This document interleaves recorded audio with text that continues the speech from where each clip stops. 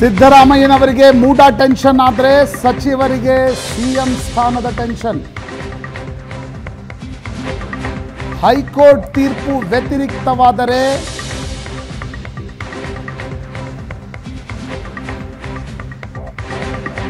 ಸಿದ್ದರಾಮಯ್ಯ ಭವಿಷ್ಯ ಮುಂದೇನು?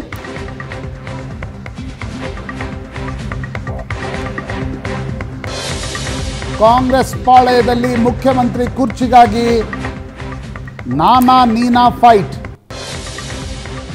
ಸಿಎಂ ರೇಸ್ನಲ್ಲಿ ಡಿ ಕೆ ಶಿವಕುಮಾರ್ ಅನ್ನೇ ಮೀರಿಸಿದ್ರ ಉಳಿದ ಸಚಿವರು? ದೆಹಲಿಯಲ್ಲಿ ಮುಖ್ಯಮಂತ್ರಿ ಸ್ಥಾನಕ್ಕೆ ಹಿರಿಯ ಸಚಿವರುಗಳಿಂದ ಲಾಬಿ ನಡೀತಿದೆಯಾ?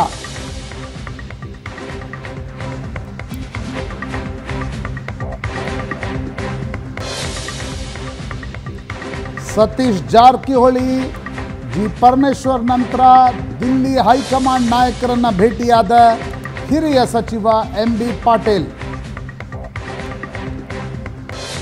ಹಿರಿಯ ಸಚಿವರ ವಿರುದ್ಧ ಹೈಕಮಾಂಡ್ಗೆ ದೂರು ನೀಡಿದ ಡಿ ಕೆ ಶಿವಕುಮಾರ್ ಬಣ. ಡಿ ಕೆ ಶಿವಕುಮಾರ್ ಸಿಎಂ ಕನಸಿಗೆ ಕಾಂಗ್ರೆಸ್ ಸಚಿವರೇ ಅಡ್ಡಗಾಲು ಹಾಕುತ್ತಿದ್ದಾರಾ?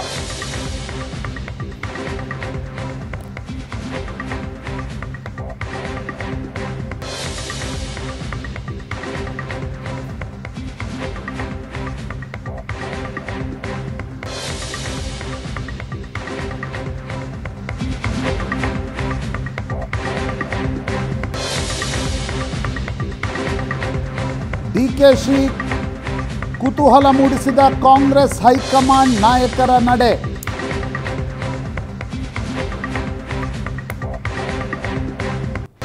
ಡಿಕೆ ಶಿವಕುಮಾರ್ ಬಣದ ದೂರಿನ ಮೇಲೆ ಕ್ರಮ ತೆಗೆದುಕೊಳ್ಳುತ್ತಾರಾ? ಎಐಸಿಸಿ ಅಧ್ಯಕ್ಷ ಮಲ್ಲಿಕಾರ್ಜುನ್ ಖರ್ಗೆ. ಮುಖ್ಯಮಂತ್ರಿ ಸಿದ್ದರಾಮಯ್ಯ ಇದ್ದಾರೆ. ಅವರೇ ಮುಂದುವರಿತಾರೆ. ಇಲ್ಲ ನಾವೇನಲ್ಲ ನಾವೆಲ್ಲಿ ಆಗ್ತೀವಿ ಅಂತ ಕ್ಲೇಮ್ ಮಾಡಿಲ್ಲ. ಸಾಕಷ್ಟು ಜನ ಕುರ್ಚಿ ಕೂಡ ಖಾಲಿ ಇಲ್ಲ ಅಂತ ಹೇಳಿದ್ದಾರೆ. ಹಿಂಗಾಗಿ ಇದರಲ್ಲಿ ನಾವು ಗುದ್ದಾಟ ಕುಸ್ತಿ ಮಾಡೋದು ಅನವಶ್ಯಕ. ಎಲ್ಲ ದಿನ ಹಾಕೋರು ಹಾಕ್ತಾರೆ ಏನು ಒಂದು ವಾಟ್ಸಪ್ಪಲ್ಲಿ ಬಂದರೆ ಇಡೀ ರಾಜ್ಯದ ಅಭಿಪ್ರಾಯ ಆಗೋಲ್ಲ. ಯಾರೋ ಒಬ್ರು ಹಾಕಿರ್ತಾರೆ. ಹೋಗ್ತಾನೆ ಇರ್ತೀವಿ. ಡೆಲ್ಲಿಗೆ ಚರ್ಚೆ ಮಾಡ್ತಾ ಬೇರೆ ಬೇರೆ ವಿಷಯಗಳು ಇದ್ದೇ ಇರ್ತೈತಿ. ಹಾಗೇನಿಲ್ಲ ಇದು ಹೇಳಿದ್ವಲ್ಲ ಬೇರೆ ಬೇರೆ ಕೆಲಸ ಇರ್ತೈತೆ ಹೋಗ್ತೀವಿ. ಈಗಂತೆ ಅದು ಪ್ರಶ್ನೆ ಉದ್ಭವಿಸೋದಿಲ್ಲ. ಬಂದಾಗ ನೋಡೋಣ ಅದು. ಈಗಂತೆ ಸಿದ್ದರಾಮಯ್ಯ ಇರ್ತಾರೆ.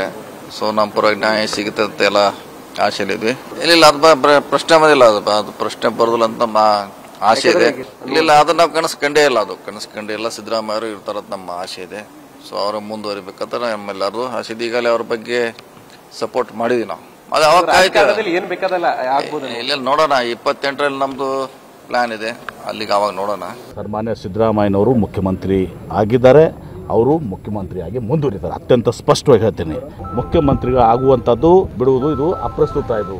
ನಾನು ಹೇಳಿದ್ದು ಮುಂದೆ ಒಂದು ದಿವಸ ನಾನು ಆಗ್ತೀನಿ ಅಂತ ಹೇಳಿದೆ ನಾನು ಮುಖ್ಯಮಂತ್ರಿ ಆದರೆ ಒಂದು ದಿವಸ ವಿಜಯಪುರ ಜಿಲ್ಲೆ ಜನರಿಗೆ ಸಂತೋಷ ಅಲ್ಲ?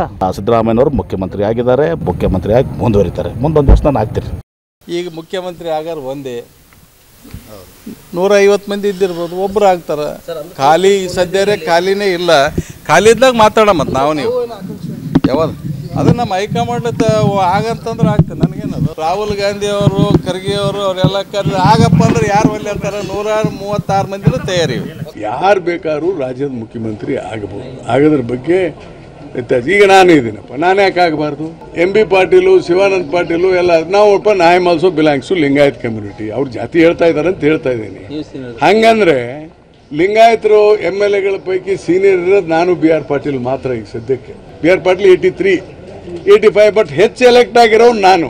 ಎಂ ಪಿ ಹಿಡ್ದಾಗ ಹೇಳ್ತೀನಿ. ಹೀಗಾಗಿ ನಾನು ಒಂದು ಎಂಟು ಸಲ ಎಲೆಕ್ಟ್ ಆಗಿದ್ದೇನೆ. ಈಗ ಎಲ್ಲರೂ ಹೈದರಾಬಾದ್, ಕರ್ನಾಟಕದಲ್ಲಿ ಹೈಯೆಸ್ಟ್ ಎಲೆಕ್ಟ್ ಆಗಿರೋ ನಾನು. ನಮ್ಮ ಪಕ್ಷದವರು ಲಿಂಗಾಯತ್ ಕಮ್ಯುನಿಟಿ ಕೊಡ್ತಾರಪ್ಪ ಅಂದ್ರೆ ಕಮ್ಯುನಿಟಿ ವೈಸ್ ಕೊಡ್ತೀನಿ ಅಂದರೆ I am the front runner in among Lingayat community ಏನು ತಪ್ಪಿಲ್ಲ, ನಾನು ಆಸೆ ಪಡ ಇದೇ ವಿಷಯದ ಬಗ್ಗೆ ಇವತ್ತು ಮಾತಾಡ್ತೀವಿ. ಹಲವು ಜನ ಗಣ್ಯರು ನಮ್ಮ ಜೊತೆಗಿರ್ತಾರೆ. ನನ್ನ ಕೊಲ್ಲಿಗ್ ಪ್ರಶಾಂತ್ ನಾಥ್ ಇದ್ದಾರೆ ಪ್ರಶಾಂತ್ ಕಾರ್ಯಕ್ರಮಕ್ಕೆ ಸ್ವಾಗತ ನಿಮಗೆ. ದೇವರಾಜ್ ಅವರು ಜೆ ಡಿ ಎಸ್ನಿಂದ, ರಮೇಶ್ ಬಾಬು ಅವರು ಕಾಂಗ್ರೆಸ್ನಿಂದ, ಅಶ್ವಥ್ ನಾರಾಯಣ ಅವರು ಬಿ ಜೆ ಇದ್ದಾರೆ ಮೂರು ಜನರು ಕಾರ್ಯಕ್ರಮಕ್ಕೆ ಸ್ವಾಗತ. ಪ್ರಶಾಂತ್ ನಾಥದೇ ಮೊದಲನೇ ರಿಯಾಕ್ಷನ್ ತೊಗೊಳ್ತೀನಿ. ಪ್ರಶಾಂತ, ಸಂಜೆ ಕೂಡ ಹೇಳ್ತಾ ಇದ್ದೆ ನಾನು. ಮಿನಿಸ್ಟ್ರ್ಗಳ ದಿಲ್ಲಿಗೆ ಹೋಗಿ ಬರೋದೇನು ಹೊಸದಲ್ರಿ? ಉಳಿದ ಸಂದರ್ಭದಲ್ಲಿ ಹೋದರೆ ಇವರು ಹೋಗಿದ್ದು ಗೊತ್ತಾಗೋದಿಲ್ಲ, ಬಂದಿದ್ದು ಗೊತ್ತಾಗೋದಿಲ್ಲ. ಬಟ್ ರಾಜ್ಯ ರಾಜಕಾರಣದಲ್ಲಿ ಇಂಥ ಚರ್ಚೆ ನಡೀತಾ ಇರುವಾಗ ಯಾರು ಹೋದರು, ಎಷ್ಟೊತ್ತಿಗೆ ಹೋದರು, ಯಾರನ್ನ ಭೇಟಿಯಾದರು, ಎಲ್ಲ ಕೂಡ ಚರ್ಚೆಗೆ ಬರ್ತವೆ. ಅವ್ರು ಹೇಳೋದು ಸರಿಗಿದೆ. ಇಲಾಖೆ ಕೆಲಸಕ್ಕೆ ಹೋಗಿರ್ತೀವಿ, ಹೋಗಿ ಬಂದಿರ್ತೀವಿ. ಯಾಕೆ ಇದನ್ನಿಷ್ಟು ದೊಡ್ಡದು ಮಾಡ್ತೀರಿ ಅಂತ? ನಾವೇನೋ ಅಂದರೆ ಇಲ್ಲದೇ ಇರೋ ಸುದ್ದಿನ ವಿನಾಕಾರಣ ದೊಡ್ಡದು ಮಾಡ್ತಾ ಇದ್ದೀವ ನೋಡಿ, ಮೂಡಾ ಪ್ರಕರಣ ವ್ಯಾಪಕವಾಗಿ ಚರ್ಚೆಗೊಳಗಾಗಿ ಅದಾದಮೇಲೆ ಯಾವಾಗ ರಾಜ್ಯಪಾಲರು ಸ್ಯಾಂಕ್ಷನ್ ಆಫ್ ಇನ್ವೆಸ್ಟಿಗೇಷನ್ ಕೊಟ್ಟರು ಅದು ಕೋರ್ಟಿಗೆ ಹೋಯಿತು. ರಾಜಕಾರಣ ಮತ್ತು ಕಾನೂನನ್ನು ಬಲ್ಲ ಯಾರಿಗೂ ಅರ್ಥ ಆಗುತ್ತೆ. ಹೈಕೋರ್ಟ್ ತೀರ್ಪು ಮತ್ತು ಸುಪ್ರೀಂ ಕೋರ್ಟ್ ತೀರ್ಪು ವ್ಯತಿರಿಕ್ತವಾಗಿ ಬಂದಲ್ಲಿ ನಾಯಕತ್ವ ಬದಲಾವಣೆ ಮಾಡುವ ಅನಿವಾರ್ಯತೆಗೆ ಕಾಂಗ್ರೆಸ್ ಹೈಕಮಾಂಡ್ ಬರಬಾರೆ ಈ ಹೈಪೋಥಿಸಿಸ್ ಇಟ್ಕೊಂಡು ನಾವು ಮುಂದೆ ಚರ್ಚೆ ಮಾಡೋದಾದರೆ, ನನಗನ್ಸುತ್ತೆ ಹೈಕಮಾಂಡ್ನ ನಾಯಕರು ರಾಹುಲ್ ಗಾಂಧಿ ಇರಲಿ, ಮಲ್ಲಿಕಾರ್ಜುನ್ ಖರ್ಗೆ ಅವರಿರಲಿ, ಸುರ್ಜೇವಾಲಾ ಇರಲಿ, ಕೆ ಸಿ ವೇಣುಗೋಪಾಲ್ ಇರಲಿ ದೇ ಆರ್ ಸೀಸನ್ ಪೀಪಲ್ ಯಾವ ಹೈಕಮಾಂಡ್ ನಾಯಕರು ಕೂಡ ಸತೀಶ್ ಜಾರಕಿಹೊಳಿ ಅವ್ರನ್ನ ಕರೆದು, ನೋಡಿ ನಾವು ಚೇಂಜ್ ಮಾಡಿದರೆ ಹೇಗೆ? ಅಥವಾ ಪರಮೇಶ್ವರನ್ನ ಕರೆ- ಅದೆಲ್ಲ ಯಾರೂ ಮಾತಾಡಲ್ಲ. ಇದು ಏನು ನಡೀತಾ ಇರುತ್ತೆ ಅಂತ ನನಗೆ ಅನಿಸೋದು ಅಂದರೆ ಓಕೆ. ಒಂದು ಈಗ ನಾವು ಪತ್ರಕರ್ತರು ಯಾವುದೋ ಒಂದು ಸುದ್ದಿ ಬಂತು ಅಲ್ವಾ? ಅನೇಕ ಬಾರಿ ಈಗ ರಮೇಶ್ ಬಾಬು ಅವ್ರಿಗೆ ಕಾಲ್ ಮಾಡಿದರೆ ಅವ್ರು ಹೇಳಲ್ಲ ಸುದ್ದಿ. ಆದರೆ ರಮೇಶ್ ಬಾಬು ಅವ್ರ ಜೊತೆ ಮಾತಾಡ್ತಾ ಮಾತಾಡ್ತಾ ಅವ್ರ ಟೋನಲ್ಲಿ ನಾವೇನೋ ಒಂದು ಬಿಟ್ವೀನ್ ದ ಲೈನ್ಸ್ ರೀಡ್ ಮಾಡುವ ಪ್ರಯತ್ನವನ್ನು ಮಾಡ್ತೀವಿ. That is job of journalist correct ನಾನು ಕ್ರೈಮ್ ರಿಪೋರ್ಟಿಂಗಲ್ಲಿ ಯಾವಾಗಲೂ ಹೇಳ್ತಿದ್ದೆ ಯಾವುದೋ ಒಂದು ಸ್ಟೇಷನ್ ಲಿಮಿಟ್ಸಲ್ಲಿ ಮರ್ಡರ್ ಆಗಿದೆ ಅಂದರೆ ಇನ್ಸ್ಪೆಕ್ಟರ್ಗೆ ಒಂದು ಕಾಲ್ ಮಾಡಿ. ಅವರು ಫೋನ್ ರಿಸೀವ್ ಮಾಡಿ ನಾರ್ಮಲಾಗಿ ಹಲೋ ಅಂದ್ರೆ ಅಲ್ಲಿ ಏನೂ ಆಗಿಲ್ಲ ಅಂತ ಅರ್ಥ. ನನಗೊಂದು ಒಂದು ಅನುಭವ. ಹಾಗೆ. ನನಗೊಬ್ಬರು ನಾಯಕರು ನಾಯಕತ್ವ ಬದಲಾವಣೆಯ ಚರ್ಚೆ ನಡೀತಾ ಇತ್ತು. ನಾನು ಜರ್ನಲಿಸಮ್ ಶುರು ಮಾಡುವಾಗ. ಇಡೀ ಎಲ್ಲರೂ ಬದಲಾವಣೆ ಆಗ್ಬಿಡುತ್ತೆ ಬದಲಾವಣೆ ಆಗ್ಬಿಡುತ್ತೆ ಬದಲಾವಣೆ ಆಗ್ಬಿಡುತ್ತೆ. ಹೆಸರು ಹೇಳ್ಬಿಡ್ತೀನಿ ಅವ್ರು ಇಲ್ಲ ಇವಾಗ ಅದೇ ಗೊತ್ತು ಗೊತ್ತು. ಹೇಳಿ ಹೇಳಿ. ಅನಂತ್ ಕುಮಾರ್ ಅವ್ರ ಮನೆಗೆ ಹೋದೆ ನಾನು. ಅವ್ರು ಒಳಗಡೆ ಬಿಡ್ಲಿಕ್ಕೆ ತಯಾರಿರಲಿಲ್ಲ. ಕ್ಯಾಮ್ರಾ ತಂದಿದ್ದಾರಾ? ಚೆಕ್ ಮಾಡಿ ಅಂತಂದರು ಬೆಳಿಗ್ಗೆ ಬೆಳಿಗ್ಗೆ ಎಂಟು ಗಂಟೆಗೆ ಹೋಗಿದ್ದೆ ನಾನು. ಕ್ಯಾಮ್ರಾ ತಂದಿರಲಿಲ್ಲ. ಅವರು ಶೇವಿಂಗ್ ಮಾಡ್ಕೊಳ್ತಾ ಇದ್ರು. ಸ್ವಲ್ಪ ನಾನು ಹುಬ್ಬಳ್ಳಿಯವನಾದ ಕಾರಣದಿಂದ ನಾನು ಆತ್ಮೀಯತೆ. ಆತ್ಮೀಯತೆ ಇತ್ತು ಒಳಗಡೆ ಹೋದೆ. ನಾನು ಅದು ಇದು ಮಾತಾಡ್ತಾ ಬದಲಾವಣೆ ಆಗ್ತಾರಾ ಯಡಿಯೂರಪ್ಪನವರು ಬದಲಾವಣೆ ಆಗ್ತಾರಾ ಅಂತ ಕೇಳಿದೆ. ಅವರೊಂದು ಹದಿನೈದು ನಿಮಿಷ ಏನೂ ಮಾತಾಡಲಿಲ್ಲ. ಅವರು ನನಗೆ ಒಂದೇ ಒಂದು ಸಂಜ್ಞೆಯಲ್ಲಿ ಹೇಳಿದರು. ಜಗತ್ತಿನ ರಾಜಕೀಯ ಇತಿಹಾಸದ ಯಾವ ಬಂಡಾಯದಲ್ಲಿ ಮೊದಲ ಒಂದು ಘೋಷಣೆಗೆ ಮುಖ್ಯಮಂತ್ರಿಗಳು ಬದಲಾಗ್ತಾರೆ. ಆಗಿದಾರಾ ಆಗಿದ್ದಾರಾ ಅಂತ ಕೇಳಿದರು. ಮೈ ಹೋಲ್ ರಿಪೋರ್ಟಿಂಗ್ ವಾಸ್ ನಾಯಕತ್ವ ಬದಲಾವಣೆ ಆಗಲ್ಲ ಕೆಲವು ಬದಲಾವ ಅಂದರೆ ಅದೇ ನಾನು ಹೇಳ್ತೀನಿ ನಮಿಕೆಬಲ್ ಸೆಟಲ್ಮೆಂಟ್ ಸರ್ ಆಗುತ್ತೆ. ಇದು. ಈಗ ಪರಮೇಶ್ವರ್ ಇರಲಿ ಸತೀಶ್ ಜಾರಕಿಹೊಳಿಯವರು ಇರಲಿ ಎಂ ಬಿ ಪಾಟೀಲ್ ಇರಲಿ ಅವ್ರಿಗೆ ಹೈಕಮಾಂಡ್ ಜೊತೆ ಈ ಸುದೀರ್ಘ ಅವಧಿಯ ಒಡನಾಟ ಇದೆ. ಅವರವ್ರದ್ದೇ ನಾಯಕರುಗಳಿದ್ದಾರೆ. ಅವ್ರನ್ನ ಭೇಟಿ ಆಗ್ತಾರೆ. ನಮ್ಮ ಪತ್ರಕರ್ತರ ಥರ ಅವರು ಡಬಲ್ ಚೆಕ್ ಮಾಡ್ಕೊಳ್ತಾ ಇರ್ತಾರೆ. ನನ್ನ. ನನ್ನ ಅನುಭವದ ದೃಷ್ಟಿಯಲ್ಲಿ ನನ್ನ ಅನಿಸಿಕೆಯಿಂದ ಹೇಳೋದಾದರೆ ಅವರು ಡಬಲ್ ಚೆಕ್ ಮಾಡ್ಕೊಳ್ತಾರೆ what will happen number one number two ಈಗ ಕೆ ವಿ ಎಟ್ ಹಾಕ್ತಾರೆ ನೋಡಿ ಕೋರ್ಟಲ್ಲಿ ಯಾಕೆ ಹಾಕ್ತಾರೆ ಕೆ ವಿ ಎಟ್ಟು ನಮ್ಮನ್ನು ಕೇಳಿದ್ರೆ ನಾಳೆ ನೀವೇನಾದರೂ ಫೈನಲ್ ಜಜ್ಮೆಂಟ್ ಕೊಡೋದಾದರೆ ನಮ್ಮ ವಾದವನ್ನು ಆಲಿಸಿ ಅಂತ. ಪ್ರಾಯಶಃ ಈ ನಾಯಕರುಗಳು ಹೋಗಿ ಒಂದು ವೇಳೆ ಆದರೆ ಇದೆಲ್ಲವೂ ಕೂಡ ರೇ ಪ್ರಪಂಚದಲ್ಲೇ ಇರುತ್ತೆ. ಕರೆಕ್ಟ್ ಕರೆಕ್ಟ್ ಪೊಲಿಟಿಕ್ಸ್ ಯಾವತ್ತಿಗೂ ಕೂಡ ಫೈನಾಲಿಟಿಗೆ ಬರೋದು ಯಾವಾಗ? ನಾಳೆ ಹೈಕೋರ್ಟು ಸುಪ್ರೀಂ ಕೋರ್ಟ್ ಏನು ಹೇಳುತ್ತೆ? ವ್ಯತಿರಿಕ್ತ ತೀರ್ಪು ಬಂದರೆ ಮುಖ್ಯಮಂತ್ರಿಗಳ ವಿರುದ್ಧ ಎಫ್ ಐ ಆರ್ ಹಾಕಿದರೆ ಆಗ ಏನು ಮಾಡಬಹುದು ಅಂತಕ್ಕಂಥದ್ದು ಭಾಗ. ಹೀಗಾಗಿ ತಮ್ಮ ತಮ್ಮ ಅನಿಸಿಕೆಗಳನ್ನು ಮನವರಿಕೆಗಳನ್ನು ಮಾಡಲಿಕ್ಕೆ ನಾಯಕರುಗಳು ದಿಲ್ಲಿಗೆ ಹೋಗ್ತಾರೆ. ಇದು ಸಹಜ ಸ್ವಾಭಾವಿಕ ಅನಿಸುತ್ತೆ. ರಾಜಕಾರಣ ಈಗ ನೋಡ್ರಿ ಈ- ಕೂಸುಟ್ಟು ಕೂಸುಟ್ಟುವ ಮೊದಲೇ ಕುಲಾವಿ ಅಂತೆಲ್ಲ ನಾವು ಚರ್ಚೆ ಮಾಡ್ತೀವಿ. ರಾಜಕಾರಣದಲ್ಲಿ ರಾಜಕಾರಣದಲ್ಲಿ ಯಾವಾಗ ಯಾವ ಕೂಸು ಹುಟ್ಟತ್ತೆ ಹೇಳಕ್ ಬರಲ್ಲ ಕುಲಾವಿ ಹೊಲ್ಸ್ಕೊಂಡು ಇಟ್ಕೊಂಡಿರ್ಬೋದು ಅದನ್ನ ರಾಜಕಾರಣಿಗಳು ಮಾಡ್ತಿರ್ತಾರೆ. ಅದಕ್ಕೆ ಕಾಂಗ್ರೆಸ್ ಹೊರತಲ್ಲ ಬಿಜೆಪಿ ಪಿ ಹೊರತಲ್ಲ ಜೆ ಡಿ ಎಸ್ ಅದು ಬಿಡಿ ಹೈಕಮಾಂಡೇ ಪದ್ಮನಾಭ ನಗರದಲ್ಲಿ. ಎಸ್ ರಮೇಶ್ ಬಾಬು ಏನು ಅತಿಶಯೋಕ್ತಿ ಇತ್ತ? ಇವತ್ತಿನ ಚರ್ಚೆಯಲ್ಲಿ ಏನಾರು ಇದೆಯಾ? ನಾವು ಮಾತಾಡಿದ್ರಲ್ಲಿ ಏನಾರು ಇದೆಯಾ? ಇಲ್ಲ, ಅವರು ಪತ್ರಕರ್ತರಾಗಿ ಅವರ ಅನುಭವದ ಹಿನ್ನೆಲೆಯಲ್ಲಿ ವಿಶ್ಲೇಷಣೆ ಮಾಡಿದ್ದಾರೆ. ಸುದ್ದಿ ಹೇಗೆ ತೆಗಿಬೇಕಾಗುತ್ತೆ ಅನ್ನೋದನ್ನ ವಿಶ್ಲೇಷಣೆ ಮಾಡಿದ್ದಾರೆ. ನಾನು ಒಬ್ಬ ಪತ್ರಕರ್ತನ ಆಗಿದ್ದರಿಂದ ಅದನ್ನು ನಾನು ಡಿಸ್ಪ್ಯೂಟ್ ಮಾಡೋಕ್ಕೆ ಹೋಗಲ್ಲ. ಬಟ್ ಒಂದು ನನಗೆ ಖುಷಿ ಅನಿಸುತ್ತೆ. ಇಡೀ ರಾಜ್ಯದಲ್ಲಿ ಒಂಥರ ಒಂದು ಕಡೆ ಒಬ್ಬ ಚಿತ್ರನಟರ ಒಂದು ಸುದ್ದಿ, ಇನ್ನೊಂದು ಕಡೆ ಈ ಮೂಢ ಸುದ್ದಿ, ಈ ಮಧ್ಯೆ ಸ್ವಲ್ಪ ಏನೋ ಒಂದು ಥ್ರಿಲ್ಲಿಂಗ್ ಕೊಡುವಂಥ ಸುದ್ದಿಗಳು ಮಾಧ್ಯಮಗಳು ಮಾಡ್ತಾಯಿದ್ರು ಅಷ್ಟು ಮಟ್ಟಕ್ಕೆ ಮಾಧ್ಯಮಗಳಿಗೆ ಅಭಿನಂದನೆ ಹೇಳ್ತೀನಿ. ಆಹಾರ ನಿಮ್ಮವ್ರು ಕೊಡ್ತಿದ್ದಾರೆ ಒಂದು ಇದು ಆಹಾರ ನಾವು ಕೊಡ್ತಿಲ್ಲ. ಇಲ್ವಾ? ನಾವು ಭಾಳ ಖುಷಿಯಾಗಿದ್ದೀವಿ. ನಾನು ನಿನ್ನೆನು ಸಹ ಮುಖ್ಯಮಂತ್ರಿಗಳ ಜೊತೆಲೇ ಇದ್ದೆ ಸುಮಾರು ಹೊತ್ತು. ಗೊತ್ತಾಯ್ತಾ? ನಮಗೆ ನಿಮ್ಮಿಂದ ಎಂಟರ್ಟೈನ್ಮೆಂಟ್ ಅವ್ರಿಗೆ ಸಿಗ್ತಾ ಐತೆ. ಅಷ್ಟರ ಮಟ್ಟಿಗೆ ನಾನು ಹೇಳೋದಕ್ಕೆ ಇಷ್ಟಪಡ್ತೀನಿ. ಯಾಕೆಂದರೆ ನೋಡ್ತಾ ಇದ್ದೀವಿ ಏನೇನು ಬೆಳವಣಿಗೆ ಆಗ್ತಾ ಇದೆ ಅಂತೇಳಿ. ಒಂದು ಸ್ಪಷ್ಟಪಡಿಸಿ ಮುಂದಕ್ಕೆ ನಿಮ್ಮ ಉತ್ತರ ಕೊಡ್ತೀನಿ. ನಮ್ಮ ಕೆ ಪಿ ಸಿ ಸಿ ಅಧ್ಯಕ್ಷ ಅಂತ ಡಿ ಕೆ ಶಿವಕುಮಾರ್ ಅವರೇ ಭಾಳ ಸ್ಪಷ್ಟವಾಗಿ ಹೇಳಿದ್ದಾರೆ. ಈ ಐದು ವರ್ಷ ಸಿದ್ದರಾಮಯ್ಯನವರೇ ಮುಖ್ಯಮಂತ್ರಿ ಆಗಿರ್ತಾರೆ, ಅದರಲ್ಲಿ ಎರಡನೇ ಪ್ರಶ್ನೆ ಇಲ್ಲ ಅಂತೇಳಿ. ಯಾಕೆಂದರೆ ಇವತ್ತು ಮೂಡ ಪ್ರಕರಣ ಯಾರು ಪ್ಲಾಂಟ್ ಮಾಡಿದ್ದಾರೆ, ಯಾಕೆಂದರೆ ಅವ್ರು ಮಾತಾಡ್ತಾ ಪ್ರಶಾಂತ್ ಅವ್ರು ಎಲ್ಲ ಹೇಳಿದ್ರು, ಆ ಮಾಧ್ಯಮದಲ್ಲಿ ನೀವು ಕ್ರೈಮ್ ಮಾಡ್ತಿರೋ, ಮತ್ತೊಂದು ಮಾಡ್ತಿರೋ ಪ್ಲಾಂಟೆಡ್ ನ್ಯೂಸ್ ಅಂತ ಒಂದಿರುತ್ತೆ ಅಂದರೆ ಇನ್ನೊಂದು ಸುದ್ದಿ ತೆಗಿಯೋಕ್ಕೆ ಇನ್ನೊಂದೇನೋ ಸುದ್ದಿ ಪ್ಲಾಂಟ್ ಮಾಡ್ತೀರಾ? ಈ ಥರದವು ಪ್ಲಾಂಟ್ ಆಗ್ತವೆ ಅದಕ್ಕೆ ನಮಗೆ ಬೇಜಾರಿಲ್ಲ. ನಾವು ಎಂಟರ್ಟೈನ್ಮೆಂಟ್ ಥರ ತಗೊಂಡಿದ್ದೀವಿ. ಇಲ್ಲಿ ಬಂದ ಸುದ್ದಿಯ ಪೈಕಿ ಯಾವ ಸುದ್ದಿ ಪ್ಲಾಂಟ್ ಆಗಿತ್ತು ಅಂತ? ನೀವು ಮುಖ್ಯಮಂತ್ರಿ ರೇಸಲ್ಲಿ ಇದ್ದಾರೆ ಅನ್ನೋದೇ ಪ್ಲಾಂಟೆಡ್ ನ್ಯೂಸು ಅವ್ರು ನಿಮ್ಮವ್ರು ಹೇಳ್ತಾರೆ ನಮ್ಮವ್ರು ಹೇಳಿದ್ದಲ್ಲ ಸರ್ ನೀವು ಇನ್ನೂ ಒಂದು ಸಲ ತೋರಿಸಿ ನಾನು ಹೇಳ್ತೀನಿ. ಯಾರು ಸಹ ನಮ್ಮವ್ರು ಹೇಳಿದ್ದಲ್ಲ. ನೀವು ಮೈಕ್ ತಗೊಂಡು ಇಟ್ಕೊಂಡು ಅವ್ರಿಗೆ ಏನ ಏನೇನು ಅಂತ ಹೇಳಿದ್ರೆ ಅವರು ನಿಮ್ಮ ಪ್ರಶ್ನೆಗಳಿಗೆ ಉತ್ತರ ಕೊಡ್ಬೇಕಾದ್ರೆ ಒಂದು ಮಾತು ಹೇಳಿದಾರೆ ಬಿಟ್ಟರೆ ಪ್ರತಿಯೊಬ್ಬರು ಸ್ಪಷ್ಟಪಡಿಸಿದ್ದಾರೆ. ನೀವು ಮಾತಾಡಿರೋ ಅಷ್ಟು ನಾಯಕರು ಈಗ ಕುರ್ಚಿ ಖಾಲಿ ಇಲ್ಲ ಸಿದ್ದರಾಮಯ್ಯರು ಬದಲಾವಣೆ ಇಲ್ಲ. ನೀವು ಯಾವುದೇ ನಾಯಕರು ಇನ್ಕ್ಲೂಡಿಂಗ್ ರಾಯ್ ರೆಡ್ಡಿ ನೀವು ಯಾವುದೇ ತಗೊಳ್ಳಿ. ಭಾಳ ಸ್ಪಷ್ಟವಾಗಿ ಅವಕಾಶ ಸಿಕ್ಕೋದು ನಾವು ಪ್ರಯತ್ನ ಪಡ್ತೀವಿ, ಸ್ವಾಭಾವಿಕ. ನಾನು ನೂರ ಮೂವತ್ತಾರು ಜನ ಎಂ ಎಲ್ ಎಗಳು ಹೇಳಲ್ಲ ಯಾಕೆಂದರೆ ನೂರ ಮೂವತ್ತಾರರಲ್ಲಿ ಸಿದ್ದರಾಮಯ್ಯ ಬಿಟ್ಟು ಇನ್ನು ನೂರ ಮೂವತ್ತೈದು ಜನನೂ ಎಲಿಜಿಬಲ್ ಇರೋರೆ. ಸೊ ಹಾಗಾಗಿ ಅದ್ರ ಪ್ರಶ್ನೆ ಅಲ್ಲ ಭಾಳ ಸ್ಪಷ್ಟ ಇದ್ದಾವೆ ಸಿದ್ದರಾಮಯ್ಯನವರು ಯಾವುದೇ ಕಾರಣಕ್ಕೆ ರಾಜೀನಾಮೆ ಕೊಡೋ ಪ್ರಶ್ನೆ ಇಲ್ಲ. ನಮಗೆ ವಿಶ್ವಾಸ ಇದೆ. ಇವತ್ತು ಕೋರ್ಟಲ್ಲಿ ನಡೆದಿರ್ತಕ್ಕಂಥ ಬೆಳವಣಿಗೆಗಳಲ್ಲಿ ಏನು ಅವರು ಸ್ಯಾಂಕ್ಷನ್ ಕೊಡಬೇಕಾಗಿರೋ ಸಂದರ್ಭದಲ್ಲಿ ರಾಜ್ಯಪಾಲರು ಮಾಡಿರ್ತಕ್ಕಂಥ ತಪ್ಪನ್ನು ಕೋರ್ಟ್ ಎತ್ತಿಡಿಯುತ್ತೆ ಅನ್ನೋ ಭಾವನೆ ನಮಗಿದೆ. ಅದು ಒಂದು ಕಡೆ. ಎರಡನೇದು ಪ್ರಶಾಂತ್ ನಾಥ್ ಅವರು ಮಾತಾಡ್ತಾ ಹೇಳಿದ್ರು ಹೈಕೋರ್ಟ್ ಸುಪ್ರೀಂ ಕೋರ್ಟ್ ಎರಡೂ ಪದ ಬಳಕೆ ಮಾಡಿದ್ರು. ಅಂದರೆ legal battle is open so ಹಾಗಾಗಿ ಏನು ಬೆಳಿಗ್ಗೆ ಏನಾಗುತ್ತೆ ಅನ್ನೋ ಪ್ರಶ್ನೆ ಇಲ್ಲ. ಇದು ಒಂದು ಕಡೆ. ನಿಮಗೆ ಒಂದು ಸಣ್ಣ ಉದಾಹರಣೆ ಕೊಡ್ತೀನಿ. ಸನ್ಮಾನ್ಯ ಸಿದ್ದರಾಮಯ್ಯನವರ ಎಪ್ಪತ್ತೈದನೇ ಜನ್ಮದಿನದ ಕಾರ್ಯಕ್ರಮ ದಾವಣಗೆರೆಯಲ್ಲಿ ನಡೆದಂಥ ಸಂದರ್ಭದಲ್ಲಿ ಇದು ಅದೊಂದು ಐತಿಹಾಸಿಕವಾದಂಥ ಕಾರ್ಯಕ್ರಮ.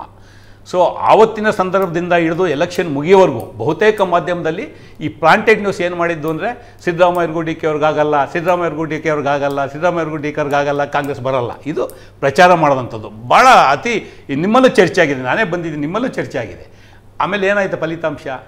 ಇದಾದಮೇಲೆ ಸರ್ಕಾರ ರಚನೆ ಆದಮೇಲೆ ಸಿದ್ದರಾಮಯ್ಯರಿಗೂ ಡಿ ಕೆ ಅವ್ರಿಗೂ ಆಗಲ್ಲ ಸಿದ್ದರಾಮಯ್ಯರಿಗೂ ಡಿ ಕೆ ಅವ್ರಿಗಾಗಲ್ಲ ಇವತ್ತೇನಾಗಿದೆ ಪರಿಸ್ಥಿತಿ? ಪ್ರತಿಯೊಂದು ಕಾರ್ಯಕ್ರಮನೂ ಸಿದ್ದರಾಮಯ್ಯನವರು, ಡಿ ಕೆ ಶಿವಕುಮಾರ್ ಅವರು ಹೊಂದಾಣಿಕೆ ಮೇಲೆ ಪ್ರತಿಯೊಂದು ನಿರ್ಧಾರಗಳು, ಸರ್ಕಾರದ ನಿರ್ಧಾರಗಳಿರ್ಬೋದು ಪಕ್ಷದ ನಿರ್ಧಾರಗಳಿರ್ಬೋದು ಎಲ್ಲ ಒಟ್ಟಿಗೆ ಹೋಗ್ತಾ ಇರ್ತಕ್ಕಂಥದ್ದು ರಾಜ್ಯ ಜನ ನೋಡ್ತಾ ಇದ್ದಾರೆ. ನಾನು ಸಮರ್ಥನೆ ಮಾಡೋಂಥದ್ದು, ಕಾಂಗ್ರೆಸ್ ಪಾರ್ಟಿ ಸಮರ್ಥನೆ ಮಾಡೋಂಥದ್ದು, ಅಥವಾ ಮಾಧ್ಯಮಗಳಲ್ಲೇನೋ ವರದಿ ಬರೋದು ಅಲ್ಲ. ಇದು ವಾಸ್ತವ ಏನಂತೇಳಿ ಗೊತ್ತಿದೆ. ಹಾಗಾಗಿ ಇವತ್ತು ಸಿದ್ದರಾಮಯ್ಯನವರು ಮತ್ತು ಡಿ ಕೆ ಶಿವಕುಮಾರ್ ನಡುವೆ ಏನು ಮಾಧ್ಯಮಗಳಲ್ಲಿ ಸುದ್ದಿ ಬಂದು ಅದು ಸುಳ್ಳಾಗಿದೆಯೋ, ಅದೇ ಥರ ಇವತ್ತು ಚರ್ಚೆ ಆಗ್ತಾ ಇರ್ತಕ್ಕಂಥದ್ದು ಅಷ್ಟೇ ಸುಳ್ಳಿನ ಸುದ್ದಿ ಬಿಟ್ಟರೆ ಅದರಲ್ಲಿ ಯಾವುದಿಲ್ಲ ನಾವೇನು ಅದನ್ನು ಸೀರಿಯಸ್ ಆಗಿ ತಗೊಳ್ಳಲ್ಲ ಯಾಕೆಂದರೆ ಸನ್ಮಾನ್ಯ ಕುಮಾರಸ್ವಾಮಿರವರು ಫೆಬ್ರವರಿ ಐದು ಎರಡು ಸಾವಿರದ ಇಪ್ಪತ್ತ್ಮೂರು ಪ್ರಹ್ಲಾದ್ ಜೋಶಿ ಮೇಲೆ ಸೀರಿಯಸ್ ಅಲಿಗೇಷನ್ ಮಾಡಿದ್ರು. ಆರ್ ಎಸ್ ಎಸ್ ಒಂದು ಪ್ಲಾನ್ ಮಾಡ್ತಾ ಇದ್ದಾರೆ. ಪ್ರಹ್ಲಾದ್ ಜೋಶಿ ಸಿ ಎಂ ಮಾಡೋಕ್ಕೆ ಎಲ್ಲ ಮಾಡ್ತಿದ್ದಾರೆ ಅಂತೇಳಿ. ಹಾಗಾಗಿ ಯಡಿಯೂರಪ್ಪನವ್ರು ಬದಲಾವಣೆ ಆಗ್ತಾರ ಅನ್ನೋ ಪ್ರಶ್ನೆ ಬಂದಾಗ ಯಾರು ಸಿ ಎಂ ಅಂತ ಬಂತು? ಯಾರೋ ರೆಡಿಯಾಗಿ ಹೊರಟರು. ಕೊನೆಗೆ ಲಾಟ್ರಿ ಹೊಡೆದಿದ್ದು ಬಸವರಾಜ ಬೊಮ್ಮಾಯಿ ಅವರಿಗೆ. ಹಂಗಾಗಿ ರಾಜಕಾರಣದಲ್ಲಿ ಅವೆಲ್ಲ ಬೇರೆ ಬೇರೆ ಬಟ್ ಇವತ್ತಿನ ಪರಿಸ್ಥಿತಿನಲ್ಲಿ ಕಾಂಗ್ರೆಸ್ ಪಕ್ಷ ಆಗಲಿ ಸಿದ್ದರಾಮಯ್ಯನವರಾಗಲಿ ಅಥವಾ ಡಿ ಕೆ ಶಿವಕುಮಾರ್ ಅವರಲ್ಲಿ ನಾವು ಭಾಳ ಸ್ಪಷ್ಟ ಇದ್ದೇವೆ. ಇಪ್ಪತ್ತೊಂದರ ಮುಂಚೆ ಬಿಜೆಪಿ ಹೇಳ್ತಾ ಇದ್ರು. ಯಡಿಯೂರಪ್ಪನ ಕೆಳಗೆ ಇಳಿಸಲ್ಲ. ಇಳಿಸಲ್ಲ ಅಂತ. ಬರೀ ಚಾ ಕುಡಿಲಿಕ್ಕೆ ಹೋಗ್ತೇವೆ. ನೀವ್ ಹೆಂಗ್ ಹೇಳ್ತಿದ್ದೀರಿ ಇವತ್ತು? ಏನೂ ಆಗಲ್ಲ ಅಂತ. ಅದನ್ನ ಬಿಜೆಪಿ ನಾಯಕರು ಹೇಳ್ತಾ ಇದ್ರು. ನನಗೆ ಇನ್ನೂ ನೆನಪಿದೆ. ಧನಂಜಯ ಕುಮಾರ್ ನನಗೊಂದ್ಸಲ ಹೇಳಿದ್ದೀನಿ ನಿಮಗೆ. ಅಂತ ಹೇಳ್ತೀನಿ. ಧನಂಜಯ ಕುಮಾರ್ ಮೈಕ್ ಹಿಡಿದ್ರೆ ಸುಮ್ಮನೆ ಚಾ ಕುಡಿಲಿಕ್ಕೆ ಸೇರಿದ್ದಾರೆ ಚಾ ಕುಡ್ಲಿಕ್ಕೆ ಸೇರಿದ್ದಾರೆ ಚಾ ಕುಡ್ಲಿಕ್ಕೆ ಸೇರಿದ್ದಾರೆ. ಎರಡು ದಿನದಲ್ಲಿ ಮುಖ್ಯಮಂತ್ರಿ ಬದಲಾವಣೆನೇ ಆಗ್ಬಿಡ್ತು. ನಾನು ನೀವು ಹೇಳಿದ್ನ ಡಿಸ್ಪ್ಯೂಟ್ ಮಾಡೋದೇ ಇಲ್ಲ. ಯಾಕೆ ಅಂತ ಹೇಳ್ತೀನಿ ಕೇಳಿ.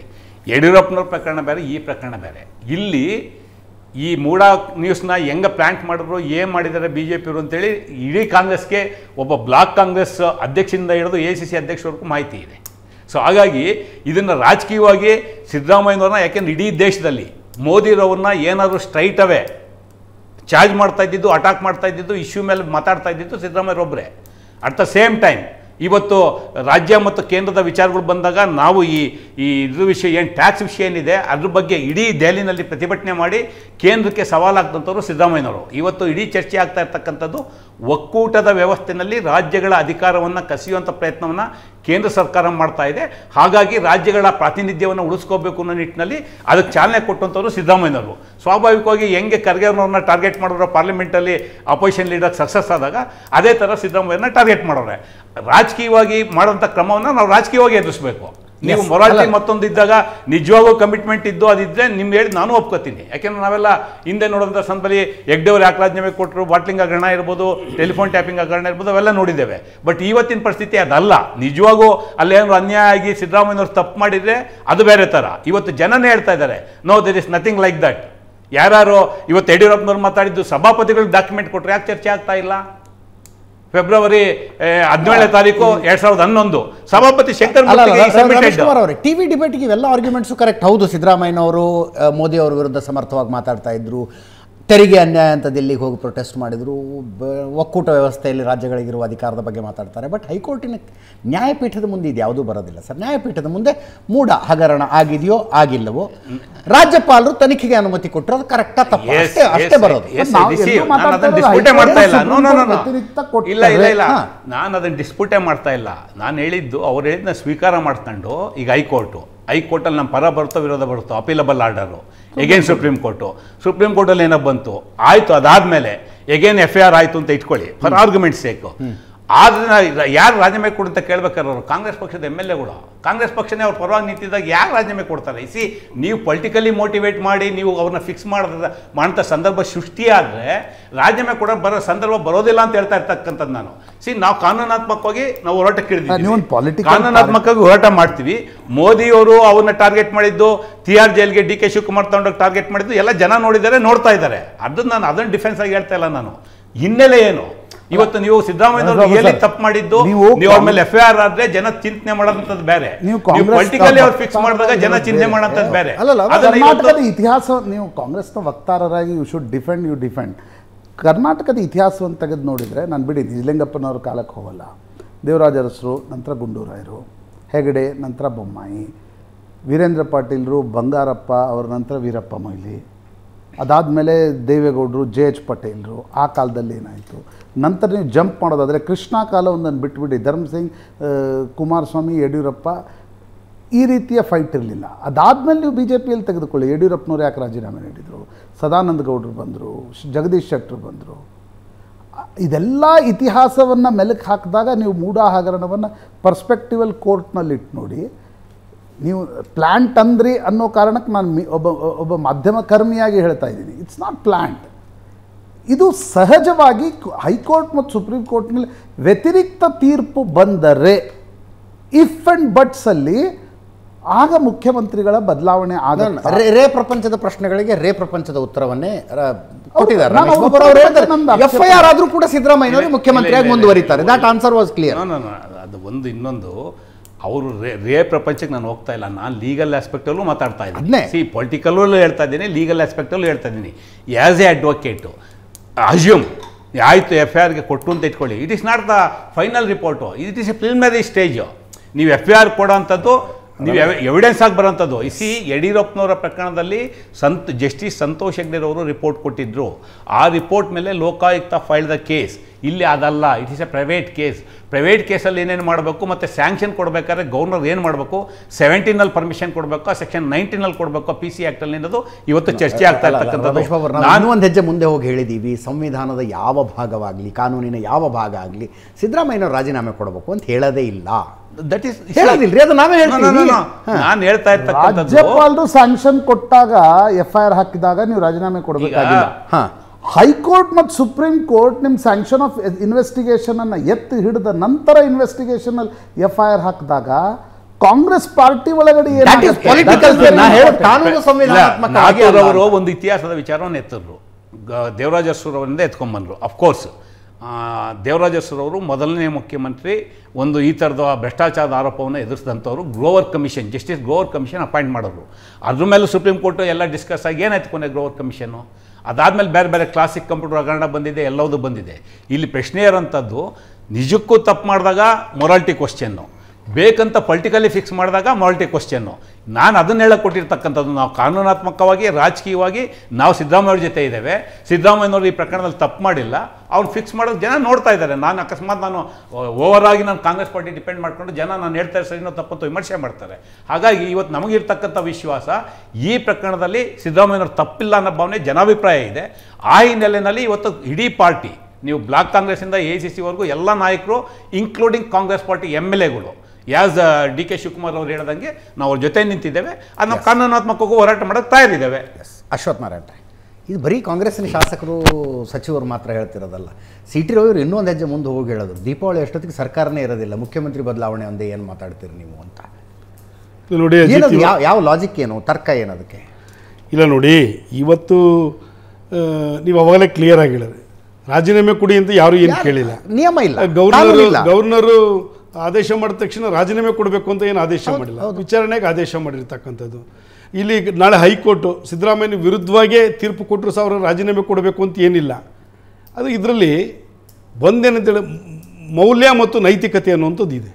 ಯಡಿಯೂರಪ್ಪನವರು ರಾಜೀನಾಮೆ ಎಂತು ಕೊಟ್ಟರು ಯಡಿಯೂರಪ್ಪನವ್ರು ರಾಜೀನಾಮೆ ಕೊಡೋದಕ್ಕಿಂತ ಮುಂಚೆ ಸಿದ್ದರಾಮಯ್ಯನವರು ಏನು ಮಾತಾಡೋರು ರೈಟ್ ಇವತ್ತು ಪೊಲಿಟಿಕಲ್ ವೆಂಡೇಟ ಮೇಲೆ ಸಿದ್ದರಾಮಯ್ಯವರೇ ಕೇಸು ಮಾಡಿರ್ತಕ್ಕಂಥದ್ದು ಅಂತ ಹೇಳ್ತಾರೆ. ಯಾರು ಮಾಡಿರೋದು? Political vendetta? B J P ಮಾಡಿದ್ರಾ? ಕಾಂಗ್ರೆಸ್ ಅವ್ರು ಮಾಡಿದ್ದಾರೆ ಜೆ ಡಿ ಎಸ್ ಅವ್ರು ಮಾಡಿದ್ದಾರೆ ಏನು ಯಡಿಯೂರಪ್ಪನವ್ರ ವಿರುದ್ಧವಾಗಿ ಖಾಸಗಿ ವ್ಯಕ್ತಿಗಳು ದೂರು ಕೊಟ್ಟಿರೋ ಅದೇ ರೀತಿ ಖಾಸಗಿ ವ್ಯಕ್ತಿಗಳು ದೂರು ಕೊಟ್ಟಿದ್ದಾರೆ ಗವರ್ನರ್ಗೆ. ಗವರ್ನರ್ ಅದನ್ನು ಕಳಿಸ್ಕೊಟ್ಟಿದ್ದಾರೆ. ಯಡಿಯೂರಪ್ಪನವ್ರಿಗೊಂದು ಕಾನೂನು ಸಿದ್ದರಾಮಯ್ಯನವ್ರಿಗೊಂದು ಕಾನೂನ? ಇವತ್ತು ಆಯಿತು. ಇಷ್ಟು ದಿನ ಚರ್ಚೆ ಆಗ್ತಿದೆ. ಇದಕ್ಕೆ ಸಿದ್ದರಾಮಯ್ಯನವ್ರ ಪರವಾಗಿ ಮಾತಾಡಲಿಕ್ಕೆ ದೆಹಲಿಯಿಂದ ಮೊದಲನೆಯ ದೂರುದಾರ ಪ್ರದೀಪ್ ಅವರು ಕಾರ್ಡ್ ಹೋಲ್ಡಿಂಗ್ ಜೆಡಿಎಸ್ ಮೆಂಬರ್. ಇರ್ಬೋದು. ಜೆ ಡಿ ಎಸ್ನ ಅಧಿಕೃತ ವಕ್ತಾರರವರು ಇರ್ಬೋದು. ಇದಕ್ಕೆ ಅಲ್ಲ ಸರ್ ಏನು ಖಾಸಗಿ ವ್ಯಕ್ತಿಗಳು, ಖಾಸಗಿ ವ್ಯಕ್ತಿಗಳು. ಒಂದು ನಾನು ಹೇಳ್ತೀನಿ. ಇವ್ರದ್ದು ಏನು ತಪ್ಪಿಲ್ಲ. ಅಲ್ಲ ಅದನ್ನ ಅದನ್ನ ಹೇಳಿ ಅದನ್ನ ಹೇಳಿ ಅಂದ್ರೆ ಬಿಜೆಪಿ ಅವ್ರು ಕೊಟ್ರ ಜೆಡಿಎಸ್ ಡಿ ಎಸ್ನವ್ರು ಕೊಟ್ರ ಹೌದು ಜೆಡಿಎಸ್ ಡಿ ಎಸ್ನವ್ರು ಇದಾರೆ ಅದರಲ್ಲಿ ಇಲ್ಲಿ ಕೇಳಿ ಇವ್ರದ್ದು ಏನೂ ತಪ್ಪಿಲ್ಲ ಅಂದ್ರೆ ಸರ್ ದಾಖಲೆ ಇಟ್ಕೊಂಡು ಮಾತಾಡ್ಲಿ. ಯಾಕೆ ದೆಹಲಿಯಿಂದ ಸಿಂಗ್ವಿನ್ ಕರ್ಸ್ಕೊಂಡು ಕಪಿಲ್ ಸಿಬಾಲ್ ಕರ್ಸ್ಕೊಂಡು ಆರ್ಗ್ಯುಮೆಂಟ್ ಏನ್ ರೀತಿ ಇದಕ್ಕೆ? ಯಾಕೆ ಸಿದ್ದರಾಮಯ್ಯ ಉತ್ತರ ಸರ್ ಒಂದ್ ನಿಮಿಷ ಸರ್ ಸಿದ್ದರಾಮಯ್ಯ ಯಾಕೆ ಫ್ಲೋರ್ ಆಫ್ ದಿ ಹೌಸ್ ಉತ್ತರ ಕೊಡ್ಲಿಲ್ಲ? ಯಾಕೆ ಈಚೆ ಬಂದ್ರು ಇವರು? ಉತ್ತರ ಕೊಡ್ಬೋದಾಗಿತ್ತಲ್ಲ? ಉತ್ತರ ಅದನ್ನ ಫ್ಲೋರ್ ಆಫ್ ದಿ ಹೌಸ್ ಉತ್ತರ ಕೊಡ್ಬೋದಾಗಿತ್ತಲ್ಲ ಸೆಷನ್ ಅಲ್ಲಿ ಚರ್ಚೆ ಆಗಬೇಕಾಗಿತ್ತು. ನಾವು ಬಿಜೆಪಿ ಪಾದಯಾತ್ರೆ ಮಾಡೋ ಅವಶ್ಯಕತೆನೇ ಇರಲಿಲ್ಲ. ಫ್ಲೋರ್ ಆಫ್ ದಿ ಹೌಸ್ ಉತ್ತರ ಕೊಟ್ಬಿಟ್ಟಿದ್ರೆ. ಸರ್ ಎಷ್ಟು ಕೆಲ ಗೊತ್ತಿಲ್ಲದೆ ಇರೋ ವಿಷಯಗಳೆಲ್ಲ ಆ ಲ್ಯಾಂಡ್ ಸ್ಟೇಟಸ್ ಇಲ್ಲದೆ ಇರೋಂಥದ್ದನ್ನ ರಿಜಿಸ್ಟರ್ ಆಗಿರ್ತಕ್ಕಂಥದ್ದನ್ನ ಕೋರ್ಟ್ ಆರ್ಗ್ಯುಮೆಂಟ್ ನೋಡಿದ್ಮೇಲೆ ರಾಜ್ಯದ ಜನತೆಗೆ ಅರ್ಥ ಆಗಿರ್ತಕ್ಕಂಥದ್ದು. ಕೆಸರೆ ಅನ್ನೋ ಗ್ರಾಮನೇ ಇಲ್ಲ. ಇವಾಗ ಅಲ್ಲಿರ್ತದ್ದು ಮೂಡ ತರ್ಸ್ಟೇಜ್ ಅಂತ ಇರೋದು. ಇದೆಲ್ಲ ಕೋರ್ಟ್ ಆರ್ಗ್ಯುಮೆಂಟಲ್ಲಿ ಬಂದಿರ್ತಕ್ಕಂಥ ಸರ್ ಅದು ಇಲ್ಲ ಅಂತ ಡಿನೈ ಮಾಡಲಿ ಕಾಂಗ್ರೆಸ್ನವರು. ದಾಖಲೆ ತಂದು ಡಿನೈ ಮಾಡಲಿ. ಇವರು ರಿಜಿಸ್ಟರ್ ಮಾಡ್ಕೊಂಡಾಗ ಲ್ಯಾಂಡ್ ಸ್ಟೇಟಸ್ಸೇ ಇರಲಿಲ್ಲ. ಲೇಔಟ್ ಸ್ಟೇಟಸ್ ಇದ್ದಿದ್ದು. ಇಲ್ಲ, ಅದು ಲ್ಯಾಂಡ್ ಸ್ಟೇಟಸ್ ಇತ್ತು ಅಂತ ಡಿನೇ ಮಾಡಲಿ. ಕೃಷ್ಣ ಬೈರೇಗೌಡರು ಆ್ಯಸ್ ಎ ರೆವಿನ್ಯೂ ಮಿನಿಸ್ಟ್ರು ಇವ್ರಿಗೆ ದೇವರಾಜ ಕಡೆಯಿಂದ ರಿಜಿಸ್ಟರ್ ಆಗುವಾಗ ಆ ಲ್ಯಾಂಡು ಪಾಣಿ ಹೆಸರು ದೇವರಾಜ ಹೆಸರಲ್ಲಿ ಇತ್ತ. ಪಾಣಿ ಹೆಸರು ಮೂಡ ಹೆಸರಲ್ಲಿ ಇತ್ತ. ಯಾರ ಹೆಸ್ರಿಗೆ ಬಂತು? Right okay D C conversion ಮಾಡುವಾಗ ಲ್ಯಾಂಡ್ ಲೇಔಟ್ ಸ್ಟೇಟಸಲ್ಲಿ ಇತ್ತ ಅಗ್ರಿಕಲ್ಚರ್ ಸ್ಟೇಟಸಲ್ಲಿ ಇತ್ತ. ಯಾರ ಹೆಸರಲ್ಲಿ ಪ್ರಾಪರ್ಟಿ ಇತ್ತು? ಇವ್ರು ಇನ್ಸ್ಪೆಕ್ಷನ್ ಮಾಡುವಾಗ ರಿಪೋರ್ಟ್ ಕೊಡಬೇಕಲ್ಲ? ಕೃಷ್ಣ ಬೈರೇಗೌಡರು ರಿಪೋರ್ಟ್ ಕೊಡಲಿ ಅದನ್ನು? ಸರ್ ಇವರು ಎರಡು ವಿಷಯ ಇದೆ ಇಲ್ಲಿ. ಒಂದು ಮೂಢ ಹಗರಣ ಇನ್ನೊಂದು ಇವಾಗ ಇಡೀ ಚಾರ್ಜ್ ಶೀಟ್ ಆಗ್ತಾ ಮೋಸ್ಟ್ಲಿ ಹಾಕಿರಬೇಕು ಚಾರ್ಜ್ ಶೀಟು ಯಾರು ಇದ್ರ ಬಗ್ಗೆ ವಾಲ್ಮೀಕಿ. ವಾಲ್ಮೀಕಿ ಮಹರ್ಷಿ ಹಗರಣದ ಬಗ್ಗೆ. ಅದರಲ್ಲಿ ಫೈನಾನ್ಸ್ ರಿಲೇಟೆಡ್ ಸಿದ್ದರಾಮಯ್ಯನವರು ಬರ್ತಾರೆ. ದದ್ದಲ್ ಹೆಸರನ್ನ ಮತ್ತು ನಾಗೇಂದ್ರ ಹೆಸರನ್ನ ಎಸ್ ಐ ಡಿ ಕೈ ಬಿಡುತ್ತೆ ಸರ್. ಗೆಲ್ಲಾನ ಉಂಟು. ಅವನು ಸತ್ಯನಾರಾಯಣ ವರ್ಮ ಕ್ಲಿಯರ್ ಆಗಿ ಹೇಳಿದ್ದಾನೆ. ಇದಕ್ಕೆಲ್ಲ ನಾಗೇಂದ್ರ ಅವರ ಮೌಖಿಕ ಆದೇಶದ ಮೇಲೆ ಇವೆಲ್ಲವೂ ನಡೆದಿರ್ತಕ್ಕಂಥದ್ದು. ಇಡೀ ರೈಡ್ ಮಾಡಿ ಸಿಗಾಕೊಂಡಿದೆ. ಇದು ಬಳ್ಳಾರಿ ಪಾರ್ಲಿಮೆಂಟ್ ಎಲೆಕ್ಷನ್ಗೆ ದುಡ್ಡು ಖರ್ಚಾಗಿದೆ. ಬೆಂಗಳೂರಲ್ಲಿ ಪಾರ್ಲಿಮೆಂಟ್ ಎಲೆಕ್ಷನ್ಗೆ ದುಡ್ಡು ಖರ್ಚಾಗಿದೆ ಅನ್ನತಕ್ಕಂಥದ್ದು. ಸಾಕ್ಷಿ ಸಮೇತ ಡಿಜಿಟಲ್ ರಿಪೋರ್ಟ್ ಮೇಲೆ ಡಿಜಿಟಲ್ ಎವಿಡೆನ್ಸ್ ಮೇಲೆ ಇವತ್ತು ಎಫ್ ಐ ಆರ್ ಆಗಿದೆ ಚಾರ್ಜ್ ಶೀಟ್ ಆಗ್ತದೆ ಸಿದ್ದರಾಮಯ್ಯವ್ರು ಆನ್ಸರ್ ಮಾಡಬೇಕಾಗ್ತದಕ್ಕೆ ಹೈಕಮಾಂಡು ಇವೆಲ್ಲವೂ ಗೊತ್ತಿದೆ. ಎಲ್ಲಗೆ ರಾಜ್ಯ ದೇಶದಲ್ಲಿ ಕಾಂಗ್ರೆಸ್ ಹೈಕಮಾಂಡ್ ಅಂತ ಇಲ್ವಾ? ಇಷ್ಟೆಲ್ಲ ಆರ್ಗ್ಯುಮೆಂಟ್ ಆಗಿ, ಇಷ್ಟೆಲ್ಲ ಚರ್ಚೆ ಆಗಿ ನೋಡ್ಕೊಂಡು ಕೂತಿದ್ಯಲ್ಲ ಅಜಿತ್ ಹೈಕಮಾಂಡ್? ತೀರ್ಮಾನ ಮಾಡಬೇಕಾಯ್ತು ಹೈಕಮಾಂಡ್ ಇಷ್ಟ ಇಷ್ಟದ ಕಾಲೇ. ಕ್ಲಾಸಿಕ್ ಕಂಪ್ಯೂಟರ್ ಕೇಸ್ನಲ್ಲಿ ಹೆಂಗೆ ಬಂಗಾರಪ್ಪನವ್ರ ಬಗ್ಗೆ ರಾಜೀನಾಮೆ ತೆಗೆದುಕೊಂಡ್ರೆ ಅವತ್ತು ಬಂಗಾರಪ್ಪ ಅವತ್ತು ಹಿಂದುಳಿದ ನಾಯಕ ಅಲ್ವಾ? ಯಾವ ರೀತಿ ಕಾಂಗ್ರೆಸ್ ಹೈಕಮಾಂಡ್ ರಾಜೀನಾಮೆ ತಗೊಳ್ದು ಬಂಗಾರಪ್ಪನವ್ರದ್ದು? ಇವತ್ತಾಗಿ ಸಿದ್ದರಾಮಯ್ಯವ್ರಿಗೆ ಮೀನಮೇಟ್ ಸೇಣಿಸ್ತಾ ಇದೆ. ಏನಾಗಿದೆ ಅಂತ ರಾಜೀನಾಮೆ ತಗೋಬೇಕು ಇವತ್ತು ಅವರು? ಅಲ್ಲ? ಬಂಗಾರಪ್ಪ ಅವ್ರದ್ದು ಏನಾಗಿತ್ತು? ನೋಡ್ರಿ, ಜುಜ್ಬಿ ಇನ್ನೂರ ಐವತ್ತು ಕೋಟಿ ಸರ್. ಯಪ್ಪ. ಸರ್ ದಯವಿಟ್ಟು ಜುಜ್ಬಿ ಇನ್ನೂರ ಐವತ್ತು ಕೋಟಿನ ನೂರು ಕೋಟಿನ? ಇವತ್ತು ಎಷ್ಟು ಕೋಟಿ ಸರ್? ಸಿದ್ದರಾಮಯ್ಯವ್ರು ಎಷ್ಟು ಸುಳ್ಳು ಹೇಳ್ತಾರೆ ಅಂದ್ರೆ ಸರ್ ನಾತು ಅವರೇ ನನ್ನ ಅವಧಿನಲ್ಲಿ ಆಗಿದ್ದಲ್ಲ ಇದು ಬಿಜೆಪಿ ಕೊಟ್ಟಿದ್ದು. ಬಿಜೆಪಿ ಅವಧಿನಲ್ಲಿ ಒಂದು ಕಳಂತು ಅರಸು ಕಳಂತ್ರೆ ಅನ್ನೋ ಒಂದು ರಿಪೋರ್ಟ್ ಇದೆ. Sir sir merit of the case ಕೂಡ ಡಿಸ್ಕಸ್ ಆಗ್ತಾ ಇದೆ. ಹೈಕೋರ್ಟ್ ಪೀಠದ ಮುಂದೆ ಏನಂದರೆ ಆ್ಯಕ್ಚುಲಿ ಹಗರಣ ಏನಾಗಿದೆ ಆ ಯಾರ ಮೇಲೆ ಏನು ಆರೋಪ ಎಲ್ಲ ಕೂಡ ಡಿಸ್ಕಸ್ ಆಗ್ತಾ ಇದೆ. ನೀವಂತೀರಿ ಮುಖ್ಯಮಂತ್ರಿ ಬದಲಾವಣೆ ಆಗುತ್ತೆ ಅಂತ ಸರ್ಕಾರನೇ ಬಿದ್ದು ಹೋಗುತ್ತೆ ಅಂತ ಕೆಲವರು ಅಂತಾರೆ. ಜೆ ಡಿ ಎಸ್ನವರು ಅಧಿಕೃತವಾಗಿ ಹೇಳೋದು ನಾವೆಲ್ಲಿ ಸಿದ್ದರಾಮಯ್ಯನವ್ರು ರಾಜೀನಾಮೆ ಕೇಳಿದ್ದೀವಿ ಅಂತ. ಇಲ್ಲ ಅಜಿತ್ ನಿಮಿಷ ಒಂದು ನಿಮಿಷ. ಅವ್ರ ಮಿ- ಆತಂಕ. ಹಾ, ಡಿ ಕೆ ಶಿವಕುಮಾರ್ ಬಂದು ಕುತ್ಕೊಂಡ್ಬಿಟ್ರೆ ಸಿದ್ದರಾಮಯ್ಯನವ್ರನ್ನ ಕೆಳಗೆ ಡಿ ಕೆ ಶಿವಕುಮಾರ್ ಬಂದು ಕೂತ್ಕೊಂಡ್ಬಿಟ್ರೆ ಅನ್ನೋ ಆತಂಕದಲ್ಲಿ ಜೆ ಡಿ ಎಸ್ ಇದೆಯಾ? ಅಲ್ಲ ಕುಮಾರಸ್ವಾಮಿ ಅವರ ಆದಿಯಾಗಿ ಇದೇ ಸ್ಟುಡಿಯೋದಲ್ಲಿ ಕೂತ್ಕೊಂಡು ಹೇಳ್ತಾರೆ ನಾವೆಲ್ಲಿ ಸಿದ್ದರಾಮಯ್ಯನವ್ರ ರಾಜೀನಾಮೆ ಕೇಳಿದೀವಿ ಅಂತ. ಒಂದು ಬ್ರೇಕ್ ಮುಗಿಸ್ಕೊಂಡು ವಾಪಸ್ ಬರ್ತೀನಿ.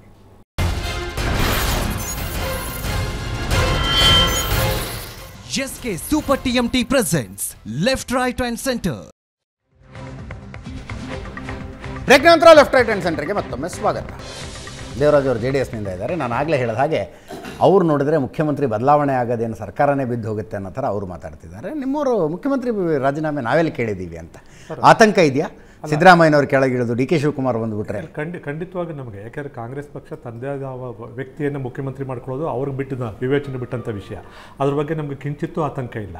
ಯಾಕೆ ಈ ವಿಷಯವನ್ನು ನಾವು ಹೇಳ್ತಿದ್ದೀವಿ ಅಂತಂದರೆ ನಾವು ಸಿದ್ದರಾಮಣ್ಣವರು ನಾವು ಸ್ಪಷ್ಟವಾದ ನಿಮ್ಮ ಒಂದು ಇದರಲ್ಲೇ, ಚಾನಲಲ್ಲೇ ಹೇಳಿದ್ದಾರೆ. ಸಿದ್ದರಾಮಣ್ಣವರು ಆರೋಪ ಬರ್ತಿದ್ದಾಗೆ ರಾಜೀನಾಮೆ ಕೊಡುವಂಥ ವ್ಯಕ್ತಿ ಅಲ್ಲ ಅಂತಕ್ಕಂಥದ್ದನ್ನು ಭಾಳಷ್ಟು ಕ್ಲಾರಿಫೈ ಮಾಡಿಬಿಟ್ಟಿದ್ದಾರೆ. ಆಯಿತು ಈಗ ಅದಕ್ಕೆ, ಈಗ ನಾವು ಮೊದಲು ಈ ವಿಷಯವನ್ನು ನಾವು ಚುನಾವಣೆ ಪೂರ್ವದಲ್ಲೂ ಚರ್ಚೆ ಮಾಡಿದ್ವಿ, ಚುನಾವಣೆ ನಂತರವೂ ಸಹ ನಾವು ಹಲವಾರು ಸಲ ಚರ್ಚೆ ಮಾಡಿದ್ವಿ. ಇದೇ ವೇದಿಕೆಯಲ್ಲಿ ನಾಲ್ಕೈದು ಸಲ ಬಂದಿದೆ. ಚುನಾವಣೆ ಪೂರ್ವದಲ್ಲಿ ಮುಖ್ಯಮಂತ್ರಿ ನಾನೇ ನಾನೇ ಅಂತಕ್ಕಂಥ ಒಂದು ಬಣ ಹೇಳ್ತಿದ್ರು. ಇನ್ನೊಬ್ಬ, ಇನ್ನೊಂದು ಬಣ ಇಲ್ಲ ಮುಖ್ಯಮಂತ್ರಿ ಸಿದ್ದರಾಮಣ್ಣವರು ಅಂತ, ಇನ್ನೊಂದು ಬಣ ಮುಖ್ಯಮಂತ್ರಿ ಡಿ ಕೆ ಶಿವಕುಮಾರ್ ಅವರು ಅಂತಕ್ಕಂಥದ್ದು ಚುನಾವಣೆ ಪೂರ್ವದಲ್ಲೇ ಇತ್ತು. ಅದು ಈಗ ಪ್ರತಿಫಲನ ಮಾಡ್ತಿದೆ ಅಂತಕ್ಕಂಥದ್ದನ್ನು ಮೂರು ಜನ ಡಿ ಸಿ ಎಂ ಮಾಡಬೇಕು ಅಂತ ಕೂಗೆದ್ದಂಥ ಸಂದರ್ಭದಲ್ಲೂ ಸಹ ನಾವಿಲ್ಲಿ ಚರ್ಚೆ ಮಾಡಿದ್ವಿ ಇದು ಹಂಗೆಲ್ಲ ಮಾತಾಡಿ ನಿಮ್ಮನ್ನೆಲ್ಲ ದಾರಿ ತಪ್ಪಿಸಿದ್ರು ಬೇಸಿಕಲಿ ಜಗಳ ಇದೆ ಜಗಳ ಇದೆ ಅಂತ ನಿಮಗೆ ಅನ್ನಿಸ್ತಿತ್ತು. ನಾನೇ ಮುಖ್ಯಮಂತ್ರಿ ನಾನೇ ಮುಖ್ಯಮಂತ್ರಿ ಅಂತ ಹೇಳಿ ಸಿದ್ದರಾಮಯ್ಯನವರು ಹಿಂದೆ ಓಟ್ ತಗೊಂಡು ಬಂದ್ರು ನಾನೇ ಮುಖ್ಯಮಂತ್ರಿ ನಾನೇ ಮುಖ್ಯಮಂತ್ರಿ ಅಂತ ಹೇಳಿ ಡಿ ಕೆ ಶಿವಕುಮಾರ್ ಅವರು ಒಕ್ಕಲಿಗೆ ಓಟ್ ತಗೊಂಡ್ಬಂದ್ರು ಸರ್ ನೂರ ಮೂವತ್ತಾರು ಸ್ಥಾನ ಗೆದ್ರು. ಸರ್ ನಾನು ನೂರ ಮೂವತ್ತಾರು ಸ್ಥಾನ ಗಳಿಸಿರೋದ್ರ ಬಗ್ಗೆ ಒಂದು ಕಡೆ ಇಟ್ಕೊಳ್ಳಿ ನೀವು. ಈಗ ನೀವು ಯೋಚನೆ ಮಾಡಿ ಈಗ ಶ್ರೀಯುತ ಬಾಬು ಅವರು ಇಲ್ಲಿವರೆಗೂ ಮಾತನಾಡಿದ್ದೇನು ಈಗ ಒಂದು ಕಂಚಿನ ಒಂದು ವಸ್ತು ಮೇಲುಗಡೆ ಚಿನ್ನದ ಲೇಪನವನ್ನು ಮಾಡ್ತಾರಲ್ಲ ದೇವಸ್ಥಾನಗಳಲ್ಲಿ, ಆ ರೀತಿ ಮಾಡ್ಲಿಕ್ಕೆ ಹೊರಟಿದ್ದಾರೆ ಅಷ್ಟೇ ನೂರಕ್ಕೆ ನೂರು ಪಾಲು ಕಾಂಗ್ರೆಸ್ ಒಳಗಡೆ ಬೇಗುದಿ ಇದೆ ಅಂತಕ್ಕಂಥದ್ದನ್ನು ನೂರ ಮೂವತ್ತಾರು ಬಂದಾಗ ದಿಲ್ಲಿ ನಡೆದಂಥ ಪ್ರಹಸನ ಏನು? ಯಾ ಒಬ್ಬರು ಮುಖ ಒಬ್ಬರು ನೋಡ್ತಿರಲಿಲ್ಲ ಅವತ್ತು. ರಸ್ತೆಗಳಲ್ಲಿ ಎಲ್ಲಿ ಪ್ರತಿಯೊಂದಕ್ಕೂ ನೀವೇ ಸಹ ನಿಮ್ಮ ನೀವೇ ಬಿತ್ತರ ಮಾಡಿದ್ದು ನಮಗೆ ಕಣ್ಣು ಸಾಕ್ಷಿ ಆಗಿದೆ ನಮಗೆ. ಒಬ್ಬರು ಮುಖ ಒಬ್ಬರು ನೋಡ್ತಿರಲಿಲ್ಲ. ಒಬ್ರನ್ನೊಬ್ಬರು ವಿಶ್ ಮಾಡ್ತಿರಲಿಲ್ಲ. ಆ ಮಟ್ಟಕ್ಕೆ ಒಬ್ರನ್ನೊಬ್ಬರು ವಿರೋಧ ಮಾಡಿಕೊಂಡು ಒಂದು ಮುಖ್ಯಮಂತ್ರಿ ಸ್ಥಾನಕ್ಕೋಸ್ಕರ ಹೋರಾಟ ಮಾಡಿದಂಥವ್ರು. ನಂತರ ಅಧಿಕಾರದ ಹಂಚಿಕೆ ಆಗಿದೆ, ಸೂತ್ರ ಬಂದಿದೆ ಅಂತಕ್ಕಂಥದ್ದು. ಎಲ್ಲೋ ಸಹ ಬಿತ್ತರ ಕಾಂಗ್ರೆಸ್ನವರೇ ಅದನ್ನು ಹೇಳಿದಂಥದ್ದು. ಚುನಾವಣೆ ಪೂರ್ವದಲ್ಲಿ ನಾವೇನು ಜೆ ಡಿ ಎಸ್ನವರು ಬಿ ಜೆ ಪಿಯವರು ಹೇಳಿರಲಿಲ್ವಲ್ಲ? ಚುನಾವಣೆ ನಂತರ ನಾವೇನು ಹೇಳಿಲ್ವಲ್ಲ? ಎಳೆದಂಥವ್ರು ಏನು? ಇವರೇ ಹೇಳ್ಕೊಂಬಂದಂಥವ್ರು. ಮೂವತ್ತಾರು ಜನ ಏನು ಇಲ್ಲಿ ಕೆಲಸಗಳಾಗ್ತಿದ್ದಿಲ್ಲ, ಇಲ್ಲ ಏನು ವರ್ಗಾವಣೆ ದಂಧೆ ನಡೀತಿದೆ ಅಂತದನ್ನು ಅಪೋಸಿಷನ್ ಅವರಲ್ವ, ಅವ ಅವ್ರು ಹೇಳಿದ್ರ? ಅವತ್ತು ಹೇಳಿದಂಥವ್ರು ಕಾಂಗ್ರೆಸ್ ಶಾಸಕರನ್ನೇ?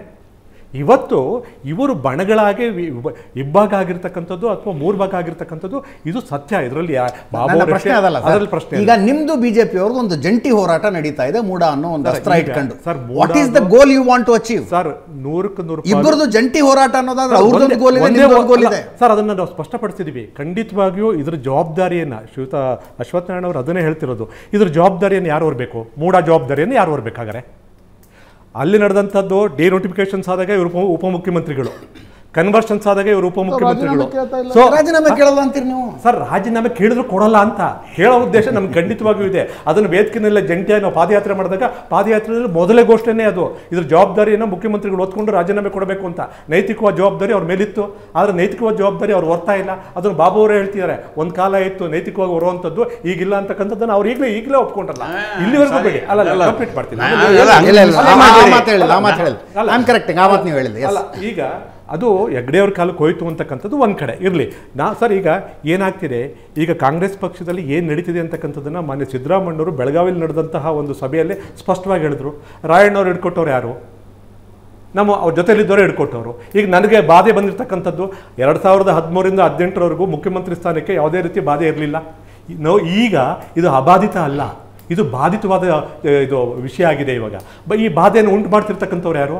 ಎಲ್ಲ ಕಾಂಗ್ರೆಸ್ನವರೇ ಏನು ನಾವು ಮಾಡ್ತಿದ್ದೀವ ನಾವು ಪ್ರಶ್ನೆ ಬಂದಿರತಕ್ಕಂಥದ್ದು, ನಮಗೆ ಬಂದಿರತಕ್ಕಂಥ ದಾಖಲೆಗಳಿವು. ಇಷ್ಟೆಲ್ಲ ದಾಖಲೆಗಳು ಬಂದ ಮೇಲೆ ಒಬ್ಬ ಮುಖ್ಯಮಂತ್ರಿಗಳಾಗಿ ಅವರವ್ರ ಸ್ಥಾನಗಳ ಅಥವಾ ಬೇರೆ ಬೇರೆ ಸ್ಥಾನಗಳು ಸ್ಥಾನಮಾನಗಳಲ್ಲಿದ್ದಾಗ ಅಧಿಕಾರವನ್ನು ಯಾವ ರೀತಿ ದುರುಪಯೋಗ ಪಡಿಸ್ಕೊಂಡವ್ರೆ ಅಂತಕ್ಕಂಥದ್ದು ದಾಖಲೆಗಳು ಹೇಳ್ತಾ ಇದ್ವು. ಅದನ್ನು ನಾವು ಪ್ರಶ್ನೆ ಮಾಡ್ತಿದ್ದೀವಿ ವಿರೋಧ ಪಕ್ಷವಾಗಿ ನಾವು ಪ್ರ- ಪ್ರಶ್ನೆ ಮಾಡ್ತಿದ್ದೀವಿ ಈ ರಾಜ್ಯದ ಪ್ರಜೆಯಾಗಿ ನಾವು ಕೇಳಲಿಕ್ಕೆ ಹಕ್ಕಿದೆ ನಾವು ಪ್ರಶ್ನೆ ಮಾಡ್ತಿದ್ದೀವಿ ಅದನ್ನು ಇವರು ಪ್ಲಾಂಟ್ ಅಂತ ಅಂದ್ಕೊಂಬಿಟ್ರೆ ಮತ್ತು ವಿರೋಧ ಪಕ್ಷವಾಗಿ ನಾವೇನು ಮಾಡಬೇಕಾದ್ರೆ ಇವ್ರು ಮಾಡಿದ್ದನ್ನೆಲ್ಲ ಸರಿ ಅಂತ ಹೇಳ್ಕೊಂಡಿರ್ಬೇಕು ನಾವು ರಾಜ್ಯದಲ್ಲಿ ಪ್ರಶ್ನೆ ಮಾಡಬಾರ್ದು ಈಗ ಕಾಂಗ್ರೆಸ್ ಪಕ್ಷ ಎಷ್ಟು ಸ್ಪ, ಸ್ಪಷ್ಟವಾಗಿ ನೀವು ಆಲೋಚನೆ ಮಾಡಿ ಇವತ್ತು, ಈ ಸ, ಈ ಇದರಲ್ಲಿ ನೈತಿಕವಾದ ಹೊಣೆಗಾರಿಕೆ ಇವ್ರದ್ದು ಇದೆಯೋ ಇಲ್ವೋ ಅನ್ನೋದನ್ನು ಚರ್ಚೆ ಮಾಡಲಿಕ್ಕೆ ಹೋಗಲ್ಲ.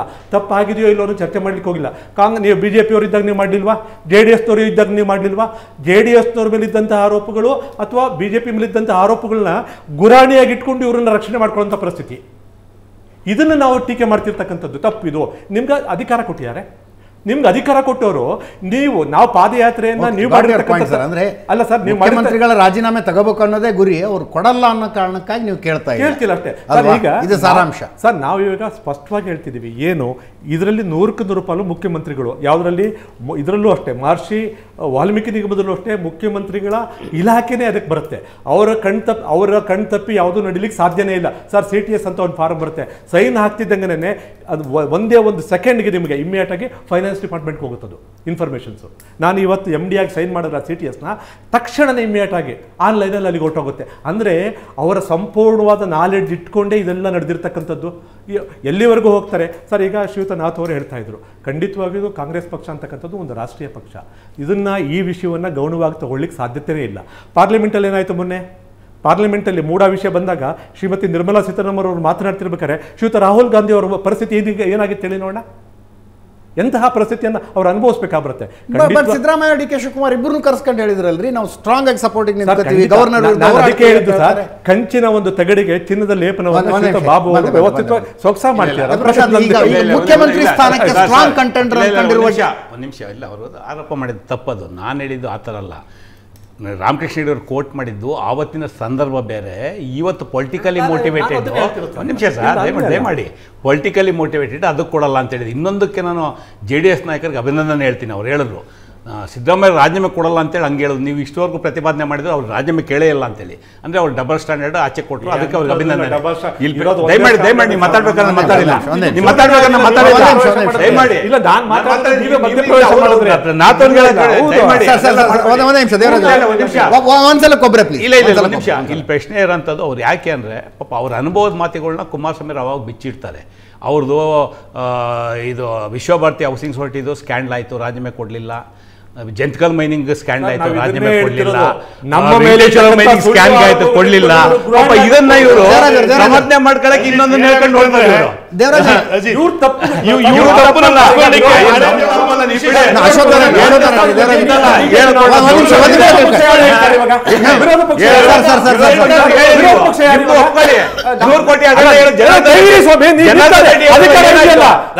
ಕೊಡ್ಲಿಲ್ಲ?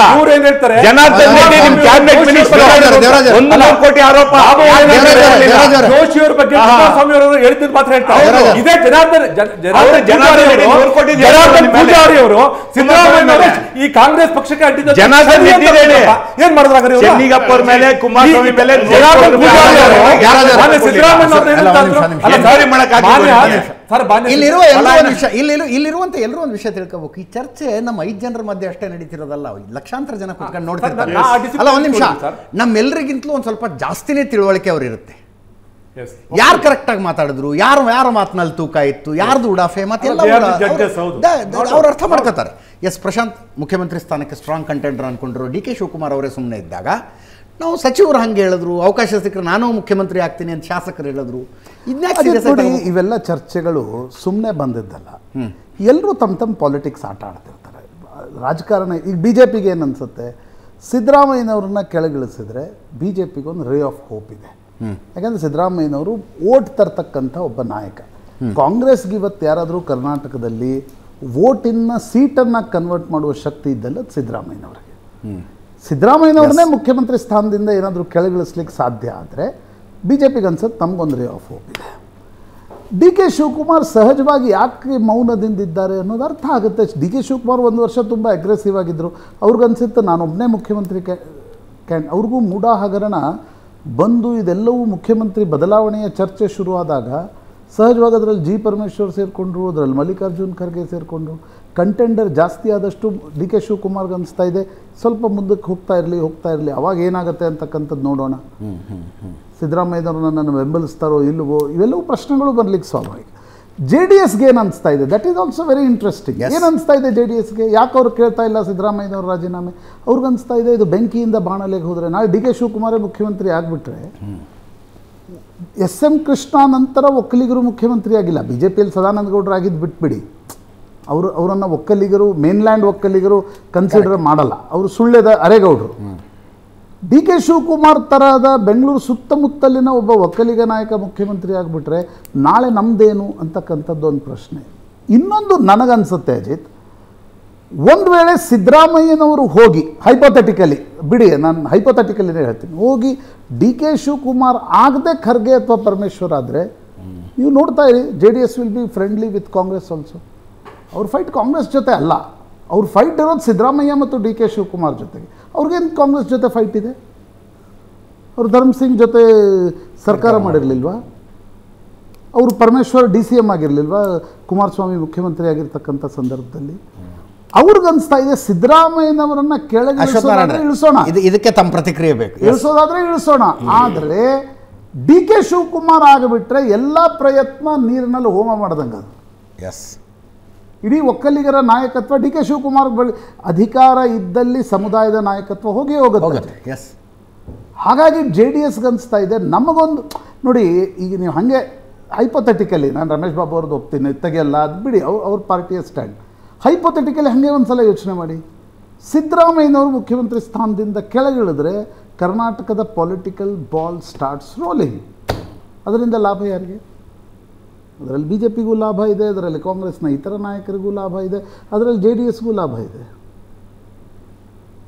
ತಮ್ಮ ತಮ್ಮ ಪಾಲಿಟಿಕ್ಸನ್ನು ತಾವು ತಾವು ಆಡ್ತಾ ಇರ್ತಾರೆ. That's what politics is all about correct ಅಲ್ವಾ ಇದು ಅನಲೈಸಿಸ್ ಇಲ್ಲ ನೋಡಿ D K Shivakumar C M ಆದ ತಕ್ಷಣ ಅವರು ಬೆಂಕಿಯಿಂದ ಬಾಣಲೆಗೆ ಬಿದ್ದಂಗೆ ಆಗುತ್ತೆ ಡಿ ಕೆ ಶಿವಕುಮಾರ್ ಮುಖ್ಯಮಂತ್ರಿ ಆದರೆ ಅಂತಂದ್ರು. ಜೆ ಡಿ ಎಸ್ನವರ ದೃಷ್ಟಿಯಲ್ಲಿ ಬೆಂಕಿಯಿಂದ ಬಾಣಲೆಗೆ ಅಂತ ಹೇಳಿದ್ರು. ನಾವು ಇನ್ನೊಂದು ಸ್ವಲ್ಪ ರಾ ಆಗಿ ಹೇಳ್ತೀವಿ ಅದನ್ನು. ಊದದ್ ಕೊಟ್ಟು ಬಾರ್ಸ ತಗೊಂಡ್ರು ನೀವು ಪ್ರಾರಂಭದಲ್ಲಿ ಹೇಳಿದ್ರಿ. ನಾನು ರಾಜ್ಯದ ಮುಂದಿನ ಮುಖ್ಯಮಂತ್ರಿ ಆಗ್ತೀನಿ ಅಂತ ಡಿ ಕೆ ಶಿವಕುಮಾರ್ ಹೇಳ್ಕೊಂಡು ಒಕ್ಕಲಿಗರು ಓಡ್ ತಂದರು. ಸಿದ್ದರಾಮಯ್ಯ ನಾನು ಮುಖ್ಯಮಂತ್ರಿ ಆಗ್ತೀನಿ ಅಂತೇಳಿ ಬ್ಯಾಕ್ವರ್ಡ್ ಓಟ್ ತಂದರು. ಜಮೀರ್ ಅಹಮದ್ ಈ ರೀತಿ ಒಂದೊಂದು ರೀತಿಯಲ್ಲಿ ಓಟ್ನ ಕನ್ಸಾಲ್ಟೇಟ್ ಮಾಡಿಕೊಂಡು ತೆಗೆದುಕೊಂಡು ಬಂದರು. ಇಲ್ಲ ಅಂತ ಸಹಜವಾಗಿ ಹಳೆ ಮೈಸೂರು ಭಾಗದಲ್ಲಿ ಡಿ ಕೆ ಶಿವಕುಮಾರ್ ಒಂದು ಅವಕಾಶ ಕೊಡಬೇಕು ಅನ್ನುವಂಥದ್ದು ಮತ್ತು ವಿಶೇಷವಾಗಿ ಅವತ್ತು ಜೆ ಡಿ ಎಸ್ಸು ಮತ್ತು ಬಿ ಜೆ ಪಿಯ ಒಂದು ಇದರಿಂದ ಕಾಂಗ್ರೆಸ್ಗೆ ಒಂದು ಪ್ಲಸ್ ಪಾಯಿಂಟ್ ಆದರೆ ಅವರು ಡಿ ಸಿ ಎಂ ಆದಮೇಲೆ ಒಬ್ಬ ಒಕ್ಕಲಿಗ ನಾಯಕ ಮುಂದಕ್ಕೆ ಸಿ ಎಂ ಆಗ್ಬೋದು ಅಂತ ನಿರೀಕ್ಷೆ ಇಕ್ಕಂಡಂಥ ಸಮುದಾಯದಲ್ಲಿ ಏನಾಯಿತು? ತದನಂತರದ ಅವಧಿನ ಡಿ ಕೆ ಶಿವಕುಮಾರ್ ನಡ್ಕೊಂಡಂಥ ರೀತಿ ನೀತಿಗಳು as a D C M ಆಗಿ ಒಕ್ಕಲಿಗ ಸಮುದಾಯವನ್ನು ರೆಪ್ರೆಸೆಂಟ್ ಮಾಡುವಂಥ ನಾಯಕ ನಾನು ಆಗಬೇಕು ಅನ್ನೋ ದೃಷ್ಟಿ ಅವರಲ್ಲಿ ಇದ್ದಿದ್ರೆ ಬೇರೆ ಬೇರೆ ಸಂದರ್ಭದಲ್ಲಿ ಅವ್ರು ನಡ್ಕೊಂಡಿರ್ತಕ್ಕಂಥ ರೀತಿ ನೀತಿಗಳು ದೇವೇಗೌಡರ ಕುಟುಂಬದ ಬಗ್ಗೆ ದೇವೇಗೌಡರ ಕುಟುಂಬದ ಬಗ್ಗೆ ಬೇರೆ ಬೇರೆ ಪಾರ್ಲಿಮೆಂಟ್ ಚುನಾವಣೆ ಸಂದರ್ಭದಲ್ಲಿ ಆ ಬೇರೆ ಬೇರೆ ಪ್ರಕರಣಗಳ ಬಗ್ಗೆ ಅವ್ರು ನಡ್ಕೊಂಡಂಥ ರೀತಿ ನೀತಿಗಳು ಇದೆಯಲ್ಲ ಇದು ಟೋಟಲಿ ವಾಶ್ ಔಟ್ ಆದವು ಡಿ ಕೆ ಶಿವಕುಮಾರ್.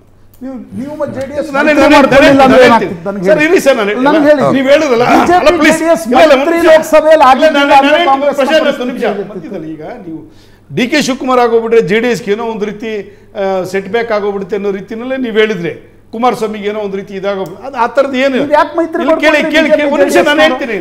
ಹೇಳಿ ಇಲ್ಲ, ಶಿವಕುಮಾರ್ ಕಾರಣದಿಂದ ಇಲ್ಲ ಕೇಳಿ ಸರ್ ಡಿ ಕೆ ಶಿವಕುಮಾರ್ ಇದ್ದಂತ image D K Shivakumar D C M ಆದಮೇಲೆ ಕಳೆದ ಒಂದು ಎಂಟತ್ತು ತಿಂಗಳು ವಿಶೇಷವಾಗಿ ಪಾರ್ಲಿಮೆಂಟ್ ಚುನಾವಣೆ ಸಂದರ್ಭದಲ್ಲಿ ಇಂದೀಚೆಗೆ ನಡ್ಕೊಂಡಂಥ ರೀತಿ ನೀತಿಗಳಿದ್ದಿಲ್ಲ ಸರ್. ಸಮುದಾಯದಲ್ಲಿ ಯಾರು ಸಹ ಅದನ್ನ ಅಕ್ಸೆಪ್ಟ್ ಆಗೋ ರೀತಿಯಲ್ಲಿ ಯಾವ ಪ್ಯಾರಾಮೀಟರ್ ಇಲ್ಲ ಸರ್. ಅದೇ ಅದಕ್ಕೆ ಯಾವ ಪ್ಯಾರಾಮೀಟರ್ ಇಲ್ಲ. ಒಂದು ಒಂದು ಯಾವ್ದಾದ್ರು ಚುನಾವಣೆ ಬರಬೇಕು ಯಾರು ಎಷ್ಟು ಓಟ್ ತಗೊಂಡ್ರು ಅಂತ ಗೊತ್ತಾದಾಗ ಬೇರೆ ರೀತಿ ಇದೆ. ಗೊತ್ತಾಗೋದು. ಬೇರೆ ರೀತಿ ಬೇರೆ ರೀತಿ ನಡೀತದೆ. ಇಲ್ಲ ಪಾರ್ಲಿಮೆಂಟ್ ಅಲ್ಲಿ ಒಕ್ಕಲಿಗ ಬೆಲ್ಟ್ ಅಲ್ಲಿ ಗೆದ್ದಂತ ಕಾಂಗ್ರೆಸ್ ಪಾರ್ಲಿಮೆಂಟ್ ಅಲ್ಲಿ ಈ ರೀತಿ ರಿಸಲ್ಟ್ ಆಗ್ತಾ ಇರಲಿಲ್ಲ. ಮೈತ್ರಿ ಯಾಕೆ. ರಿಸಲ್ಟ್ ಆಯ್ತು? ಮೈತ್ರಿ ಲಾಸ್ಟ್ ಟೈಮ್ ಮೈತ್ರಿನೇ ಇತ್ತು ಚುನಾವಣೆ ಫೇಸ್ ಮಾಡಿದ್ರಲ್ಲ ಜೆಡಿಎಸ್ ಕಾಂಗ್ರೆಸ್ ಯಾಕೆ ರಿಸಲ್ಟ್ ಬರಲಿಲ್ಲ? ಸರ್ ಅವ್ರು ನ್ಯಾಚುರಲ್ ನ್ಯಾಚುರಲ್ ಅಲ್ಲ. ಅಲ್ಲ. ನೋಡಿ ಇಲ್ಲಿ ಈಗ ತಮಗೆ ಬೇಕಾದ ರೀತಿನಲ್ಲಿ ಆ, ನಾವು ಚರ್ಚೆ ಮಾಡ್ಕೊಳ್ಳಿಕ್ಕೆ ವಿಶ್ಲೇಷಣೆ ಮಾಡ್ಕೊಳ್ಳಿಕ್ಕೆ ಅಲ್ಲ ಹಂಗೆ ನಾನು ವಾಸ್ತವ- ನಿಮಗೆ ಬೇಕಾದ ರೀತಿಯಲ್ಲಿ ವಾಸ್ತವ- ಚರ್ಚೆ ಮಾಡೋದಕ್ಕೂ ಅಲ್ಲ ವಾಸ್ತವ ಏನಿದೆ ಅನ್ನೋದು ತಿಳ್ಕೋಬೇಕಲ್ಲ? ಜನಗಳ ಮಧ್ಯದಲ್ಲಿ ವಾಸ್ತವ ಏನಿದೆ ಅನ್ನೋದು ತಿಳ್ಕೋಬೇಕಲ್ಲ? ಇನ್ನೊಂದು ತುಂಬಾ ಸಣ್ಣ ಬ್ರೇಕ್ನ ಸಮಯ ಆಗಿದೆ. ಬ್ರೇಕ್ ಮುಗಿಸ್ಕೊಂಡು ವಾಪಸ್ ಬರ್ತೀನಿ.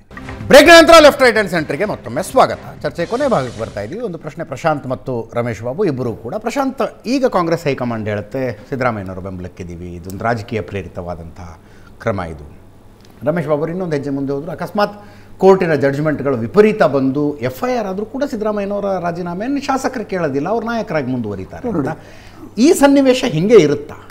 ಮತ್ತೆ ರೇ ಪ್ರಪಂಚದ ಮಾತುಗಳಿಗೆ ಬರೋದು. ಅಲ್ಲ, ಅಜಿತ್, ನೋಡಿ ರಮೇಶ್ ಬಾಬು ಅವರು ಅವರಿಂದ ನಾನು ಆಂಟಿಸಿಪೇಟ್ ಮಾಡಿ, ಇಲ್ಲ ಅವರು ಹಾಗಾದ್ರೆ ಎಫ್ ಐ ಆರ್ ಆಗಿಬಿಟ್ರೆ ರಾಜೀನಾಮೆ ಕೊಡ್ತಾರೆ ಅಂತಕ್ಕಂಥ ಹೇಳಿಕೆ ವಕ್ತಾರರಿಂದ ಪಾಪ ಎಕ್ಸ್ಪೆಕ್ಟ್ ಮಾ ಯು ಕಾಂಟ್ ಆದರೆ ನನಗನ್ಸುತ್ತೆ ನೀವು ಪೊಲಿಟಿಕಲ್ ಅನುಭವಗಳನ್ನು ಮತ್ತು ರಾಷ್ಟ್ರೀಯ ರಾಜಕೀಯ ಪಕ್ಷಗಳು ನಡೆಸುವ ರೀತಿಯನ್ನು ನೋಡಿದಾಗ ಒಂದು ವೇಳೆ ಹೈಕೋರ್ಟ್ ಹೈಕೋರ್ಟ್ನ ನಂತರ ಸುಪ್ರೀಂ ಕೋರ್ಟ್ ವ್ಯತಿರಿಕ್ತವಾಗಿ ಸಿದ್ದರಾಮಯ್ಯನವ್ರಿಗೆ ಏನಾದರೂ ತೀರ್ಪು ಕೊಟ್ಟರೆ ಎಫ್ ಐ ಆರ್ ಹಾಕ್ತಕ್ಕಂಥ ಸನ್ನಿವೇಶ ಸೃಷ್ಟಿಯಾದರೆ ರಾಜೀನಾಮೆ ತೆಗೆದುಕೊಳ್ಳದೆ ಬೇರೆ ದಾರಿ ಇರಲ್ಲ ಅಂತ ನನಗನ್ಸುತ್ತೆ ಯಾಕಂದರೆ ಒಂದು ರಾಷ್ಟ್ರೀಯ ಪಕ್ಷ ನಡೆಯುವ ರೀತಿ ಅದು ಬರೀ ಕರ್ನಾಟಕದಲ್ಲಿ ಮಾತ್ರ ನಡೆಯಲ್ಲ. ಮತ್ತು ಪಾಪ್ಯುಲರ್ ಲೀಡರ್ಗಳನ್ನು ಮಾಸ್ ಲೀಡರ್ಗಳನ್ನು ರಾಷ್ಟ್ರೀಯ ಪಕ್ಷಗಳು ನೋಡಿಲ್ಲ ಅಂತಲ್ಲ. ಯಡಿಯೂರಪ್ಪನವರ ರಾಜೀನಾಮೆಯನ್ನು ಬಿ ಜೆ ಪಿ ಎರಡು ಸಾವಿರದ ಇಪ್ಪತ್ತೊಂದರಲ್ಲಿ ತೆಗೆದುಕೊಂಡಾಗ ಏಕಾಂಗಿಯಾಗಿ ಅಧಿಕಾರಕ್ಕೆ ಬರೋಲ್ಲ ಅಂತಕ್ಕಂಥದ್ದು ಗೊತ್ತಿರಲಿಲ್ಲ ಅಂತ ಅನಿಸುತ್ತೆ. ಗೊತ್ತಿತ್ತು. ಅದು ಬೊಮ್ಮಾಯಿ ನೇತೃತ್ವದಲ್ಲಿ ಅಧಿಕಾರಕ್ಕೆ ಬಂದುಬಿಡ್ತೀವಿ ಅಂತಕ್ಕಂಥ ಭ್ರಮೆಯಲ್ಲಿ ಹೈಕಮಾಂಡ್ ಇತ್ತ. ಬಟ್ ಪೊಲಿಟಿಕಲ್ ಪಾರ್ಟಿಗಳನ್ನು ನಡೆಸಲಿಕ್ಕೆ ಒಂದು ವಿಧಾನ ಇರುತ್ತೆ. ಮತ್ತು ಇನ್ನೊಂದು ಇದರಲ್ಲಿ ಅಂಶವೂ ಕೂಡ ಇದೆ. ನೀವು ಎರಡು ಸಾವಿರದ ಇಪ್ಪತ್ತೆಂಟರ ಚುನಾವಣೆಯನ್ನು ಕಾಂಗ್ರೆಸ್ ಹೈಕಮಾಂಡ್ ಕೂಡ ಸಿದ್ದರಾಮಯ್ಯನವರ ನೇತೃತ್ವದಲ್ಲಿ ನೋಡ್ತಾ ಇಲ್ಲ. ಒಂದು ವೇಳೆ ಎಫ್ ಐ ಆರ್ ಹಾಕಿ ಈಗ ನೋಡಿ ಉಮಾಭಾರತಿ ರಾಜೀನಾಮೆಯನ್ನು ಬಿ ಜೆ ಪಿ ತೆಗೆದುಕೊಳ್ತು. ಯಾಕೆ ತೆಗೆದುಕೊಳ್ತು? ಹುಬ್ಬಳ್ಳಿಯ ಒಂದು ಕೋರ್ಟ್ನ ಸಮನ್ಸ್ನ ಕಾರಣದಿಂದ ಮಧ್ಯಪ್ರದೇಶದಲ್ಲಿ ರಾಜೀನಾಮೆ ತೆಗೆದುಕೊಳ್ಬೇಕಾಯ್ತು. ಆಗ ಬಾಬುಲಾಲ್ ಗೌರ್ ಬಂದರು ತಕ್ಷಣಕ್ಕೆ ಶಿವರಾಜ್ ಸಿಂಗ್ ಚೌಹಾಣ್ ಬಂದು ಕುಳಿತುಕೊಂಡು ಹೇಗೆ ಆ ಇವತ್ತು D K Shivakumar Mallikarjun Kharge G Parameshwar ತುಂಬ ಸೀಸನ್ಡ್ ಇದ್ದಾರೆ ಅವರು. ಎಸ್ ಏನೋ ತಕ್ಷಣ ಮಾತಾಡ್ಬಿಡ್ತಾರೆ ತಗಿರಿ ಅಂತ ಹೇಳ್ತಿದ್ದಾರೆ ಹೇಳಲ್ಲ. ಅವ್ರಿಗೆ ರಾಜಕಾರಣ ಹೇಗೆ ನಡೆಯುತ್ತೆ ಅಂತಕ್ಕಂಥದ್ದು ಒಂದು ಸ್ಪಷ್ಟತೆ ಇದೆ. ಆದರೆ ನನಗನ್ಸುತ್ತೆ ಯಾವುದೇ ರಾಷ್ಟ್ರೀಯ ಪಕ್ಷಕ್ಕೆ ನೀವು ಕೇಜ್ರಿವಾಲ್ ಬಗ್ಗೆ ನೀವು ಕೇಜ್ರಿವಾಲ್ ಈ ಕೇಸ್ ಕಂಪೇರ್ ಮಾಡಬೇಡಿ. ಕೇಜ್ರಿವಾಲ್ ಪಕ್ಷ ಅವ್ರದೇ ಪಕ್ಷ. ಅವ್ರು ಒಂದೇ ವೇಳೆ ರಾಜೀನಾಮೆ ಕೊಟ್ಟರೆ ಆಮ್ ಆದ್ಮಿ ಪಕ್ಷ ಮುಗದೆ ಹೋಯ್ತು ಅಂತ ಬರೆದಿಟ್ಕೊಳ್ಳಿ ಎಸ್ ಹೇಮಂತ್ ಸೊರೇನ್ರ ಜೊತೆ ಸಿದ್ದರಾಮಯ್ಯ ಮತ್ತು ಕಾಂಗ್ರೆಸ್ ಪಾರ್ಟಿಯನ್ನು ಒಂದು ವೇಳೆ ನೋಡಿ ಅದಕ್ಕೆ ನಾನು ಹೇಳಿದೆ ಸ್ಯಾಂಕ್ಷನ್ ಆಫ್ ಇನ್ವೆಸ್ಟಿಗೇಷನ್ ಅವ್ರ ಪ್ರಾಸಿಕ್ಯೂಷನನ್ನು ಹದಿನೇಳರಲ್ಲಿ ಕೊಡಲಿ ಹತ್ತೊಂಬತ್ತರಲ್ಲಿ ಕೊಡಲಿ. ರಾಜ್ಯಪಾಲರು ಕೊಟ್ಟ ತಕ್ಷಣ ಸಿದ್ದರಾಮಯ್ಯ ರಾಜೀನಾಮೆ ಕೊಡುವ ಪ್ರಸಂಗ ಬರಲ್ಲ. ಆದರೆ first court is high court second court is supreme court first ಮತ್ತು ಲಾಸ್ಟ್ ಕೋರ್ಟ್ಗಳು ಏನಾದರೂ ಈ ತೀರ್ಮಾನವನ್ನು ಎತ್ತಿ ಹಿಡಿದು ವ್ಯತಿರಿಕ್ತವಾಗಿ ತೀರ್ಪು ನೀಡಿದಲ್ಲಿ. ಎಸ್ ಕೋರ್ಟ್ನ judgement will have bearing on legal simultaneously political issues ಅಂತ ನನಗೆ ನನಗನ್ಸುತ್ತೆ ರಮೇಶ್ ಬಾಬು ಇಂಥ ಸಂದರ್ಭಗಳಲ್ಲಿ ರಾಷ್ಟ್ರೀಯ ಪಕ್ಷಗಳು ನಡೆದುಕೊಂಡು ಬಂದಿರುವ ರೀತಿಗೆ ಒಂದು ಪ್ಯಾಟರ್ನ್ ಇದೆ ಅಂತ ಹೇಳ್ತಾ ಇದ್ದಾರೆ. ನಾನು ಡಿಸ್ಪ್ಯೂಟ್ ಮಾಡೋದೇ ಇಲ್ಲ. ನಾನು ಬಿಗಿನಿಂಗ್ ಇನಿಷಿಯಲ್ ಸ್ಟೇಜಲ್ಲೇ ನಾನು ಹೇಳಿದೆ. ಇಲ್ಲಿರ್ತಕ್ಕಂಥದ್ದು ಅದು ನೀವು ಎಥಿಕ್ಸ್ ಆ್ಯಂಡ್ ವ್ಯಾಲ್ಯೂಸ್ ಮೇಲೆ ಹೋದಂಥ ಸಂದರ್ಭದಲ್ಲಿ ಇಲ್ಲಿ it is fully politically motivated ಸಿದ್ದರಾಮಯ್ಯನವ್ರನ್ನ ಬೇರೆ ಯಾವ ರೀತಿಯಲ್ಲೂ ಬಗ್ಸೋಕ್ಕೆ ಸಾಧ್ಯ ಇಲ್ಲ. ಸಿದ್ದರಾಮಯ್ಯನ ಈ ಥರ ಮಾಡೋಕ್ಕೆ ಮಾತ್ರ ಅವನ್ನ ಕಾಂಗ್ರೆಸ್ನ ಇಲ್ಲಿ ಬಗ್ಗಿಸ್ಬೋದು ಕರ್ನಾಟಕದಲ್ಲಿ, ಅವ್ ಅವರೇ ಹೇಳಿದ್ರು ನಾತವರೇ ಹೇಳಿದ್ರು ಅವ್ರ ಶಕ್ತಿಯನ್ನು ಸಿದ್ದರಾಮಯ್ಯನವ್ರದ್ದು ಅಂತೇಳಿ. ಈ ಥರ ಪೊಲಿಟಿಕಲ್ ಮೋಟಿವೇಟ್ ಇಟ್ಕೊಂಡು, ಪೊಲಿಟಿಕಲ್ ಅಂತ ಇಟ್ಕೊಂಡು ಮಾಡೋಕ್ಕೆ ಹೋದ ಹೊಡೆದ ಹೋದಂಥ ಸಂದರ್ಭದಲ್ಲಿ ಕಾಂಗ್ರೆಸ್ ಪಾರ್ಟಿ ಈಲ್ಡ್ ಆಗಲ್ಲ. ಯಾಕೆಂದರೆ ಈ ದೇಶದಲ್ಲಿ ಕಳೆದ ಹತ್ತು ವರ್ಷಗಳಲ್ಲಿ ಏನೇನಾಗಿದೆ, ಯಾವ ರೀತಿ ಸರ್ಕಾರಗಳನ್ನ ಕಾಂಗ್ರೆಸ್ ಸರ್ಕಾರಗಳನ್ನ ಬುಡಬೇಲ್ ಮಾಡಿದ್ದಾರೆ ಕೇಂದ್ರದ ಬಿ ಜೆ ಪಿಯವರು ಇವೆಲ್ಲ ನಮ್ಮ ಮುಂದೆ ಇರ್ತಕ್ಕಂಥ ಸಂದರ್ಭದಲ್ಲಿ ಕಾಂಗ್ರೆಸ್ ಪಕ್ಷ ಯಾವ ಕಾರಣಕ್ಕೆ ಕನ್ಕ್ಲೂಷನ್ಗೆ ಬರುತ್ತೆ? That is what I am telling ಇವತ್ತು ಪ್ರತಿಯೊಬ್ಬ ಲೀಡರ್ಗಳಿಗೆ including A C C president ಏನು ನಡೀತಾ ಇದೆ ಕರ್ನಾಟಕದಲ್ಲಿ, ಯಾನ ಕಾರಣಕ್ಕೆ ಬಿ ಜೆ ಪಿಯವರು ಪ್ಲಾಂಟ್ ಮಾಡ್ತಿದ್ದಾರೆ ಅನ್ನೋದು it is a open history ಹಾಗಾಗಿ ತೆರೆದಿರುವಂಥ ಪುಸ್ತಕ. ಹಾಗಾಗಿ ಕೋರ್ಟ್ ಒಂದು ಪಾಲಿಟಿಕ್ಸ್ ಬರೋದಿಲ್ವಲ್ಲ ನಾನು ಕೋರ್ಟ್ ಬೇರೆ sir. Court legal court judgement ಬಗ್ಗೆ ಚರ್ಚೆ. ಒಂದು ನಿಮಿಷ. ಕೋರ್ಟ್ ಅಲ್ಲಿ ಲೀಗಲ್ ಆಸ್ಪೆಕ್ಟ್ ಅಷ್ಟೇ. ಇದರಲ್ಲಿ ಮೂಡಾದಲ್ಲಿ ಅದಾಯ್ತೋ ಇಲ್ವೋ ಅಂತ ಹೇಳೋದು ಆಫ್ಟರ್ ಎನ್ಕ್ವೈರಿ ಅದರಲ್ಲಿ ಅದರಲ್ಲಿ ಆ ಅಂಶ ಇಲ್ಲಿ ಬರೋದಿಲ್ಲ. ಇಲ್ಲಿ ಏನಿದ್ರು ಗವರ್ನರ್ ಕೊಟ್ಟಿರ್ತಕ್ಕಂಥ sanction as according to the provision are not ಇಷ್ಟೇ ಕೋರ್ಟ್ ಮುಂದೆ ಇರ್ತಕ್ಕಂಥ ಪ್ರಶ್ನೆ. ಈಗ ಯಡಿಯೂರಪ್ಪ ಪ್ರಕರಣದಲ್ಲಿ ನಾನು ನಿಮ್ಮ ಟಿವಿನಲ್ಲೇ ಕೋರ್ಟ್ ಮಾಡಿದ್ದೀನಿ. ಎರಡು ಸಾವಿರದ ಹದಿನೈದು ನವೆಂಬರಲ್ಲಿ ಕರ್ನಾಟಕ ಹೈಕೋರ್ಟೆ ಏನು ಆವತ್ತಿನ ಸ್ಯಾಂಕ್ಷನ್ ಕೊಟ್ಟಂಥದ್ದು ತಪ್ಪು ಅಂತ ಹೇಳಿರ್ತಕ್ಕಂಥ ಪ್ರಕರಣವನ್ನು ನಾನಿಲ್ಲಿ ಉಲ್ಲೇಖ ಮಾಡಿದ್ದೀನಿ. It is a legal battle ಹೈಕೋರ್ಟ್ಗೆ ಆಗಲಿ ಸುಪ್ರೀಂ ಕೋರ್ಟ್ ಆಗಲಿ ಪ್ರಾವಿಷನ್ ಇಂಟರ್ಪ್ರಿಟ್ ಮಾಡ್ತಾರೆ ಬಿಟ್ಟರೆ ಮೂಲದಲ್ಲಿ ತಪ್ಪಾಗಿದೆ ಇಲ್ಲವೋ ಅಂತ ಹೇಳೋದು ಅಲ್ಟಿಮೇಟ್ಲಿ ಕೋರ್ಟು ಸೊ ಅದು ಆ ಪ್ರಶ್ನೆ ಬರಲ್ಲ. ಈಗ ಇರ್ತಕ್ಕಂಥದ್ದು only question of legal sanctity ಕೊಟ್ಟಿರ್ತಕ್ಕಂಥ sanction either correct or not ಇಷ್ಟು ಮಟ್ಟಿಗೆ ಅಷ್ಟೇ. That is what their consequence is the putting an F I R investigation ಒಬ್ಬ ಮುಖ್ಯಮಂತ್ರಿಯನ್ನು ಇನ್ವೆಸ್ಟಿಗೇಟಿಂಗ್ ಆಫೀಸರ್ ನಾನು ಲೋಕಾಯುಕ್ತನೋ ಸಿ ಬಿ ಐ ಸ್ವಲ್ಪ ಮುಂಗಾಲ್ ಪುಟಿಗೆ ಅಂತ ಅಂದ್ಕೊಳ್ಳಿ ಲೋಕಾಯುಕ್ತನೋ ಸಿ ಬಿ ಐ ಎದುರುಗಡೆ ಮುಖ್ಯಮಂತ್ರಿಗಳು ಹೋಗ್ತಕ್ಕಂಥ ಪ್ರಸಂಗ ಬಂದಲ್ಲಿ ಆಗೇನಾಗುತ್ತೆ ಹಾಂ ಎಸ್ ನೀವು ಅಲ್ಲಿ ಇನ್ನೊಂದು ಪಾಯಿಂಟ್ ಬಿಟ್ಟು ಮುಂದಕ್ಕೆ ಹೋಗ್ತಿದ್ದೀರಾ? F I R not F I R is not the final stage ಒಂದೇ ಒಂದು ನಿಮಿಷ ದಯಮಾಡಿ. ಜನಕ್ಕೆ ಅರ್ಥ ಆಗ್ಬೇಕು ದಯಮಾಡಿ. ಎಫ್ ಐ ಆರ್ ಆದ್ಮೇಲೆ ಬಿ ರಿಪೋರ್ಟ್ಗೂ ಚಾನ್ಸ್ ಇದೆ ಚಾರ್ಜ್ ಶೀಟ್ ಚಾನ್ಸ್ ಇದೆ. ಹೌದು. ಸಪೋಸ್ ಬಿ ರಿಪೋರ್ಟ್ ಹಾಕರು ವಾಟ್ ಇಸ್ ದ ಮುಂದೆ. ಅದು. ಕಾನ್ಸಿಕ್ವೆನ್ಸ್ ಮುಂದೆ. That is what. That is what ಈ ಇನಿಷಿಯಲ್ ಸ್ಟೇಜ್ ಅಲ್ಲಿ ಪ್ರಶ್ನೆ ಇಲ್ಲ. ಪಾರ್ಟಿ ಸ್ಟ್ಯಾಂಡ್ ಸಿದ್ದರಾಮಯ್ಯ ನಾವು ಹೇಳ್ತಾರೆ ಪಾರ್ಟಿ ಸ್ಟ್ಯಾಂಡ್ ಇದ್ದದ ಸಿದ್ದರಾಮಯ್ಯ. ಇನ್ನೊಂದು ನನ್ನ ಸ್ನೇಹಿತರು ಹೇಳಿದ್ರು ಡಿ ಕೆ ಶಿವಕುಮಾರ್ ವಿಷಯ ಪ್ರಸ್ತಾಪ ಮಾಡ್ಕೊಂಡು. ಪಾಪ ಇವ್ರಿಗೆ ಅತಿಯಾದ ಪ್ರೀತಿ ಬಂದ್ಬಿಟ್ಟಿದೆ ಜೆ ಡಿ ಎಸ್ನವ್ರಿಗೆ ಬಿ ಜೆ ಪಿಯವರಿಗೆ ಡಿ ಕೆ ಶಿವಕುಮಾರ್ ಮೇಲೆ. ಅವ್ರನ್ನ ತಿಹಾರ್ ಜೈಲಿಗೆ ಕಳಿಸ್ತವ್ರೆ ಇಬ್ಬರು ಸೇರ್ಕೊಂಡು ಅದು ಒಂದು ಕಡೆ. ಎರಡು ಸಾವಿರದ ಕಳ್ತನ ಎರಡ್ ಮಾಡಕ್ ಸಾವಿರದ. ಕಳ್ತನ ಯಾರು ಗುರುರಾಘವಣ್ಣದಲ್ಲಿ ಯಾರು ಕಳ್ತನ ಅಲ್ಲ,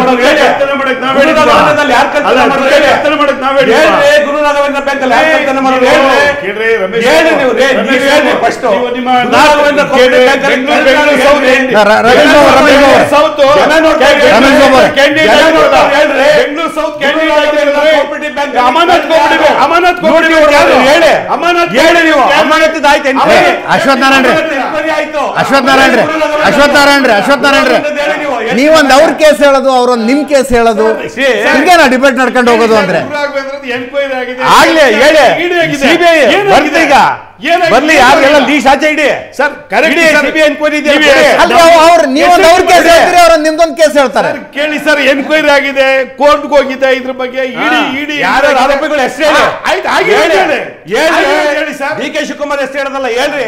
ಗುರುರಾಘವನ್ ಎರಡ್ ಸಾವಿರ ಕೋಟಿ ಹಗರಣ ಅಲ್ಲ, ನೀವು- ಎರಡ್ ಸಾವಿರ ಕೋಟಿ ಹಗರಣ ಗುರು ರಾಘವನ್ ಹೌದು. ಕಂಪ್ನಿ ಬಗ್ಗೆ ಹೇಳಿ ನೀವು ಯಾರು ಡಿ ಕೆ ಆರೋಪಿಗಳು ಹೇಳಿ ಶಿವಕುಮಾರ್ ಜೈಲಿಗೆ ಹೋಗಿದ್ದು. ನೀವ್ ಹೇಳ್ರಿ ನೀವು ಜಿ- ಡಿ ಕೆ ನೀವು ಯಾರು ಶಿವಕುಮಾರ್ ಆರೋಪಿಗಳು ಯಾಕೆ ಯಾಕೆ ಜೈಲಿಗೆ ಹೋಗಿದ್ದು? ಗುರು ರಾಘವನ್ ಯಾಕೆ ಹೋಗಿಲ್ಲ? ಯಾರು ಯಾಕೆ ಹೋಗಿಲ್ಲ ನಿಮ್ಗೆ? ಆಂಟಿಸಿಪೇಟ್ ಯಾಕೆ ಮೇಲೆ ಹೋಗಿಲ್ಲ? ಹೇಳಿ ಯಾಕೆ ಹೋಗಿಲ್ಲ? ಹೇಳಿ ಆಂಟಿಸಿಪೇಟ್ ಮೇಲೆ ಆಗ್ತಾ ಅಲ್ಲ ರೀ, ಡಿ ಕೆ ಶಿವಕುಮಾರ್ ಯಾಕೆ ಎರಡು ಸಾವಿರ ಕೋಟಿ ಜೈಲಿಗೆ ಜನ ತಲೆ ಹೊಡೆದಲ್ಲ ಜನದ್ದು ನೀವು ಅಲ್ಲ, ಹೇಳ್ರಿ. ತಲೆ ಹೊಡೆದಿದ್ದು ನಾವಲ್ಲ, ನೀವು ಹೇಳಿ ಹೊಡೆದಿದ್ದು. ಗುರು ರಾಘವೇಂದ್ರದಲ್ಲಿ ಯಾರು ತಲೆ ಹೊಡೆದಿದ್ದು ರಮೇಶ್ ಬಾಬು ಅವರೇ, ರಮೇಶ್ ಬಾಬು ಅವರೇ. ರಮೇಶ್ ಬಾಬು ಅವರೇ. ಅಮರ್ನಾಥ್ ಬ್ಯಾಂಕ್ ನಾನಲ್ಲ ಅಕ್ಯೂಸ್ಡ್ ಹೇಳಿ ಗುರು ರಾಘವೇಂದ್ರ ಹೇಳಿ ಗುರು ರಾಘವೇಂದ್ರ ಹೇಳಿ ನಿಮ್ಮ? ಅವ್ರ.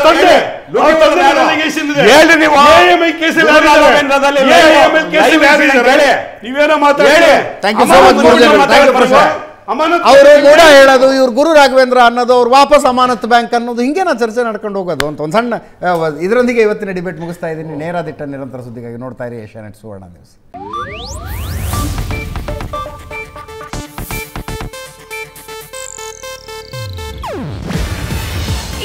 Asianet news network ಪ್ರಸ್ತುತಿ. ನೀವು ನೋಡ್ತಿದ್ದೀರಾ ಏಷ್ಯಾನೆಟ್ ಸುವರ್ಣ ನ್ಯೂಸ್.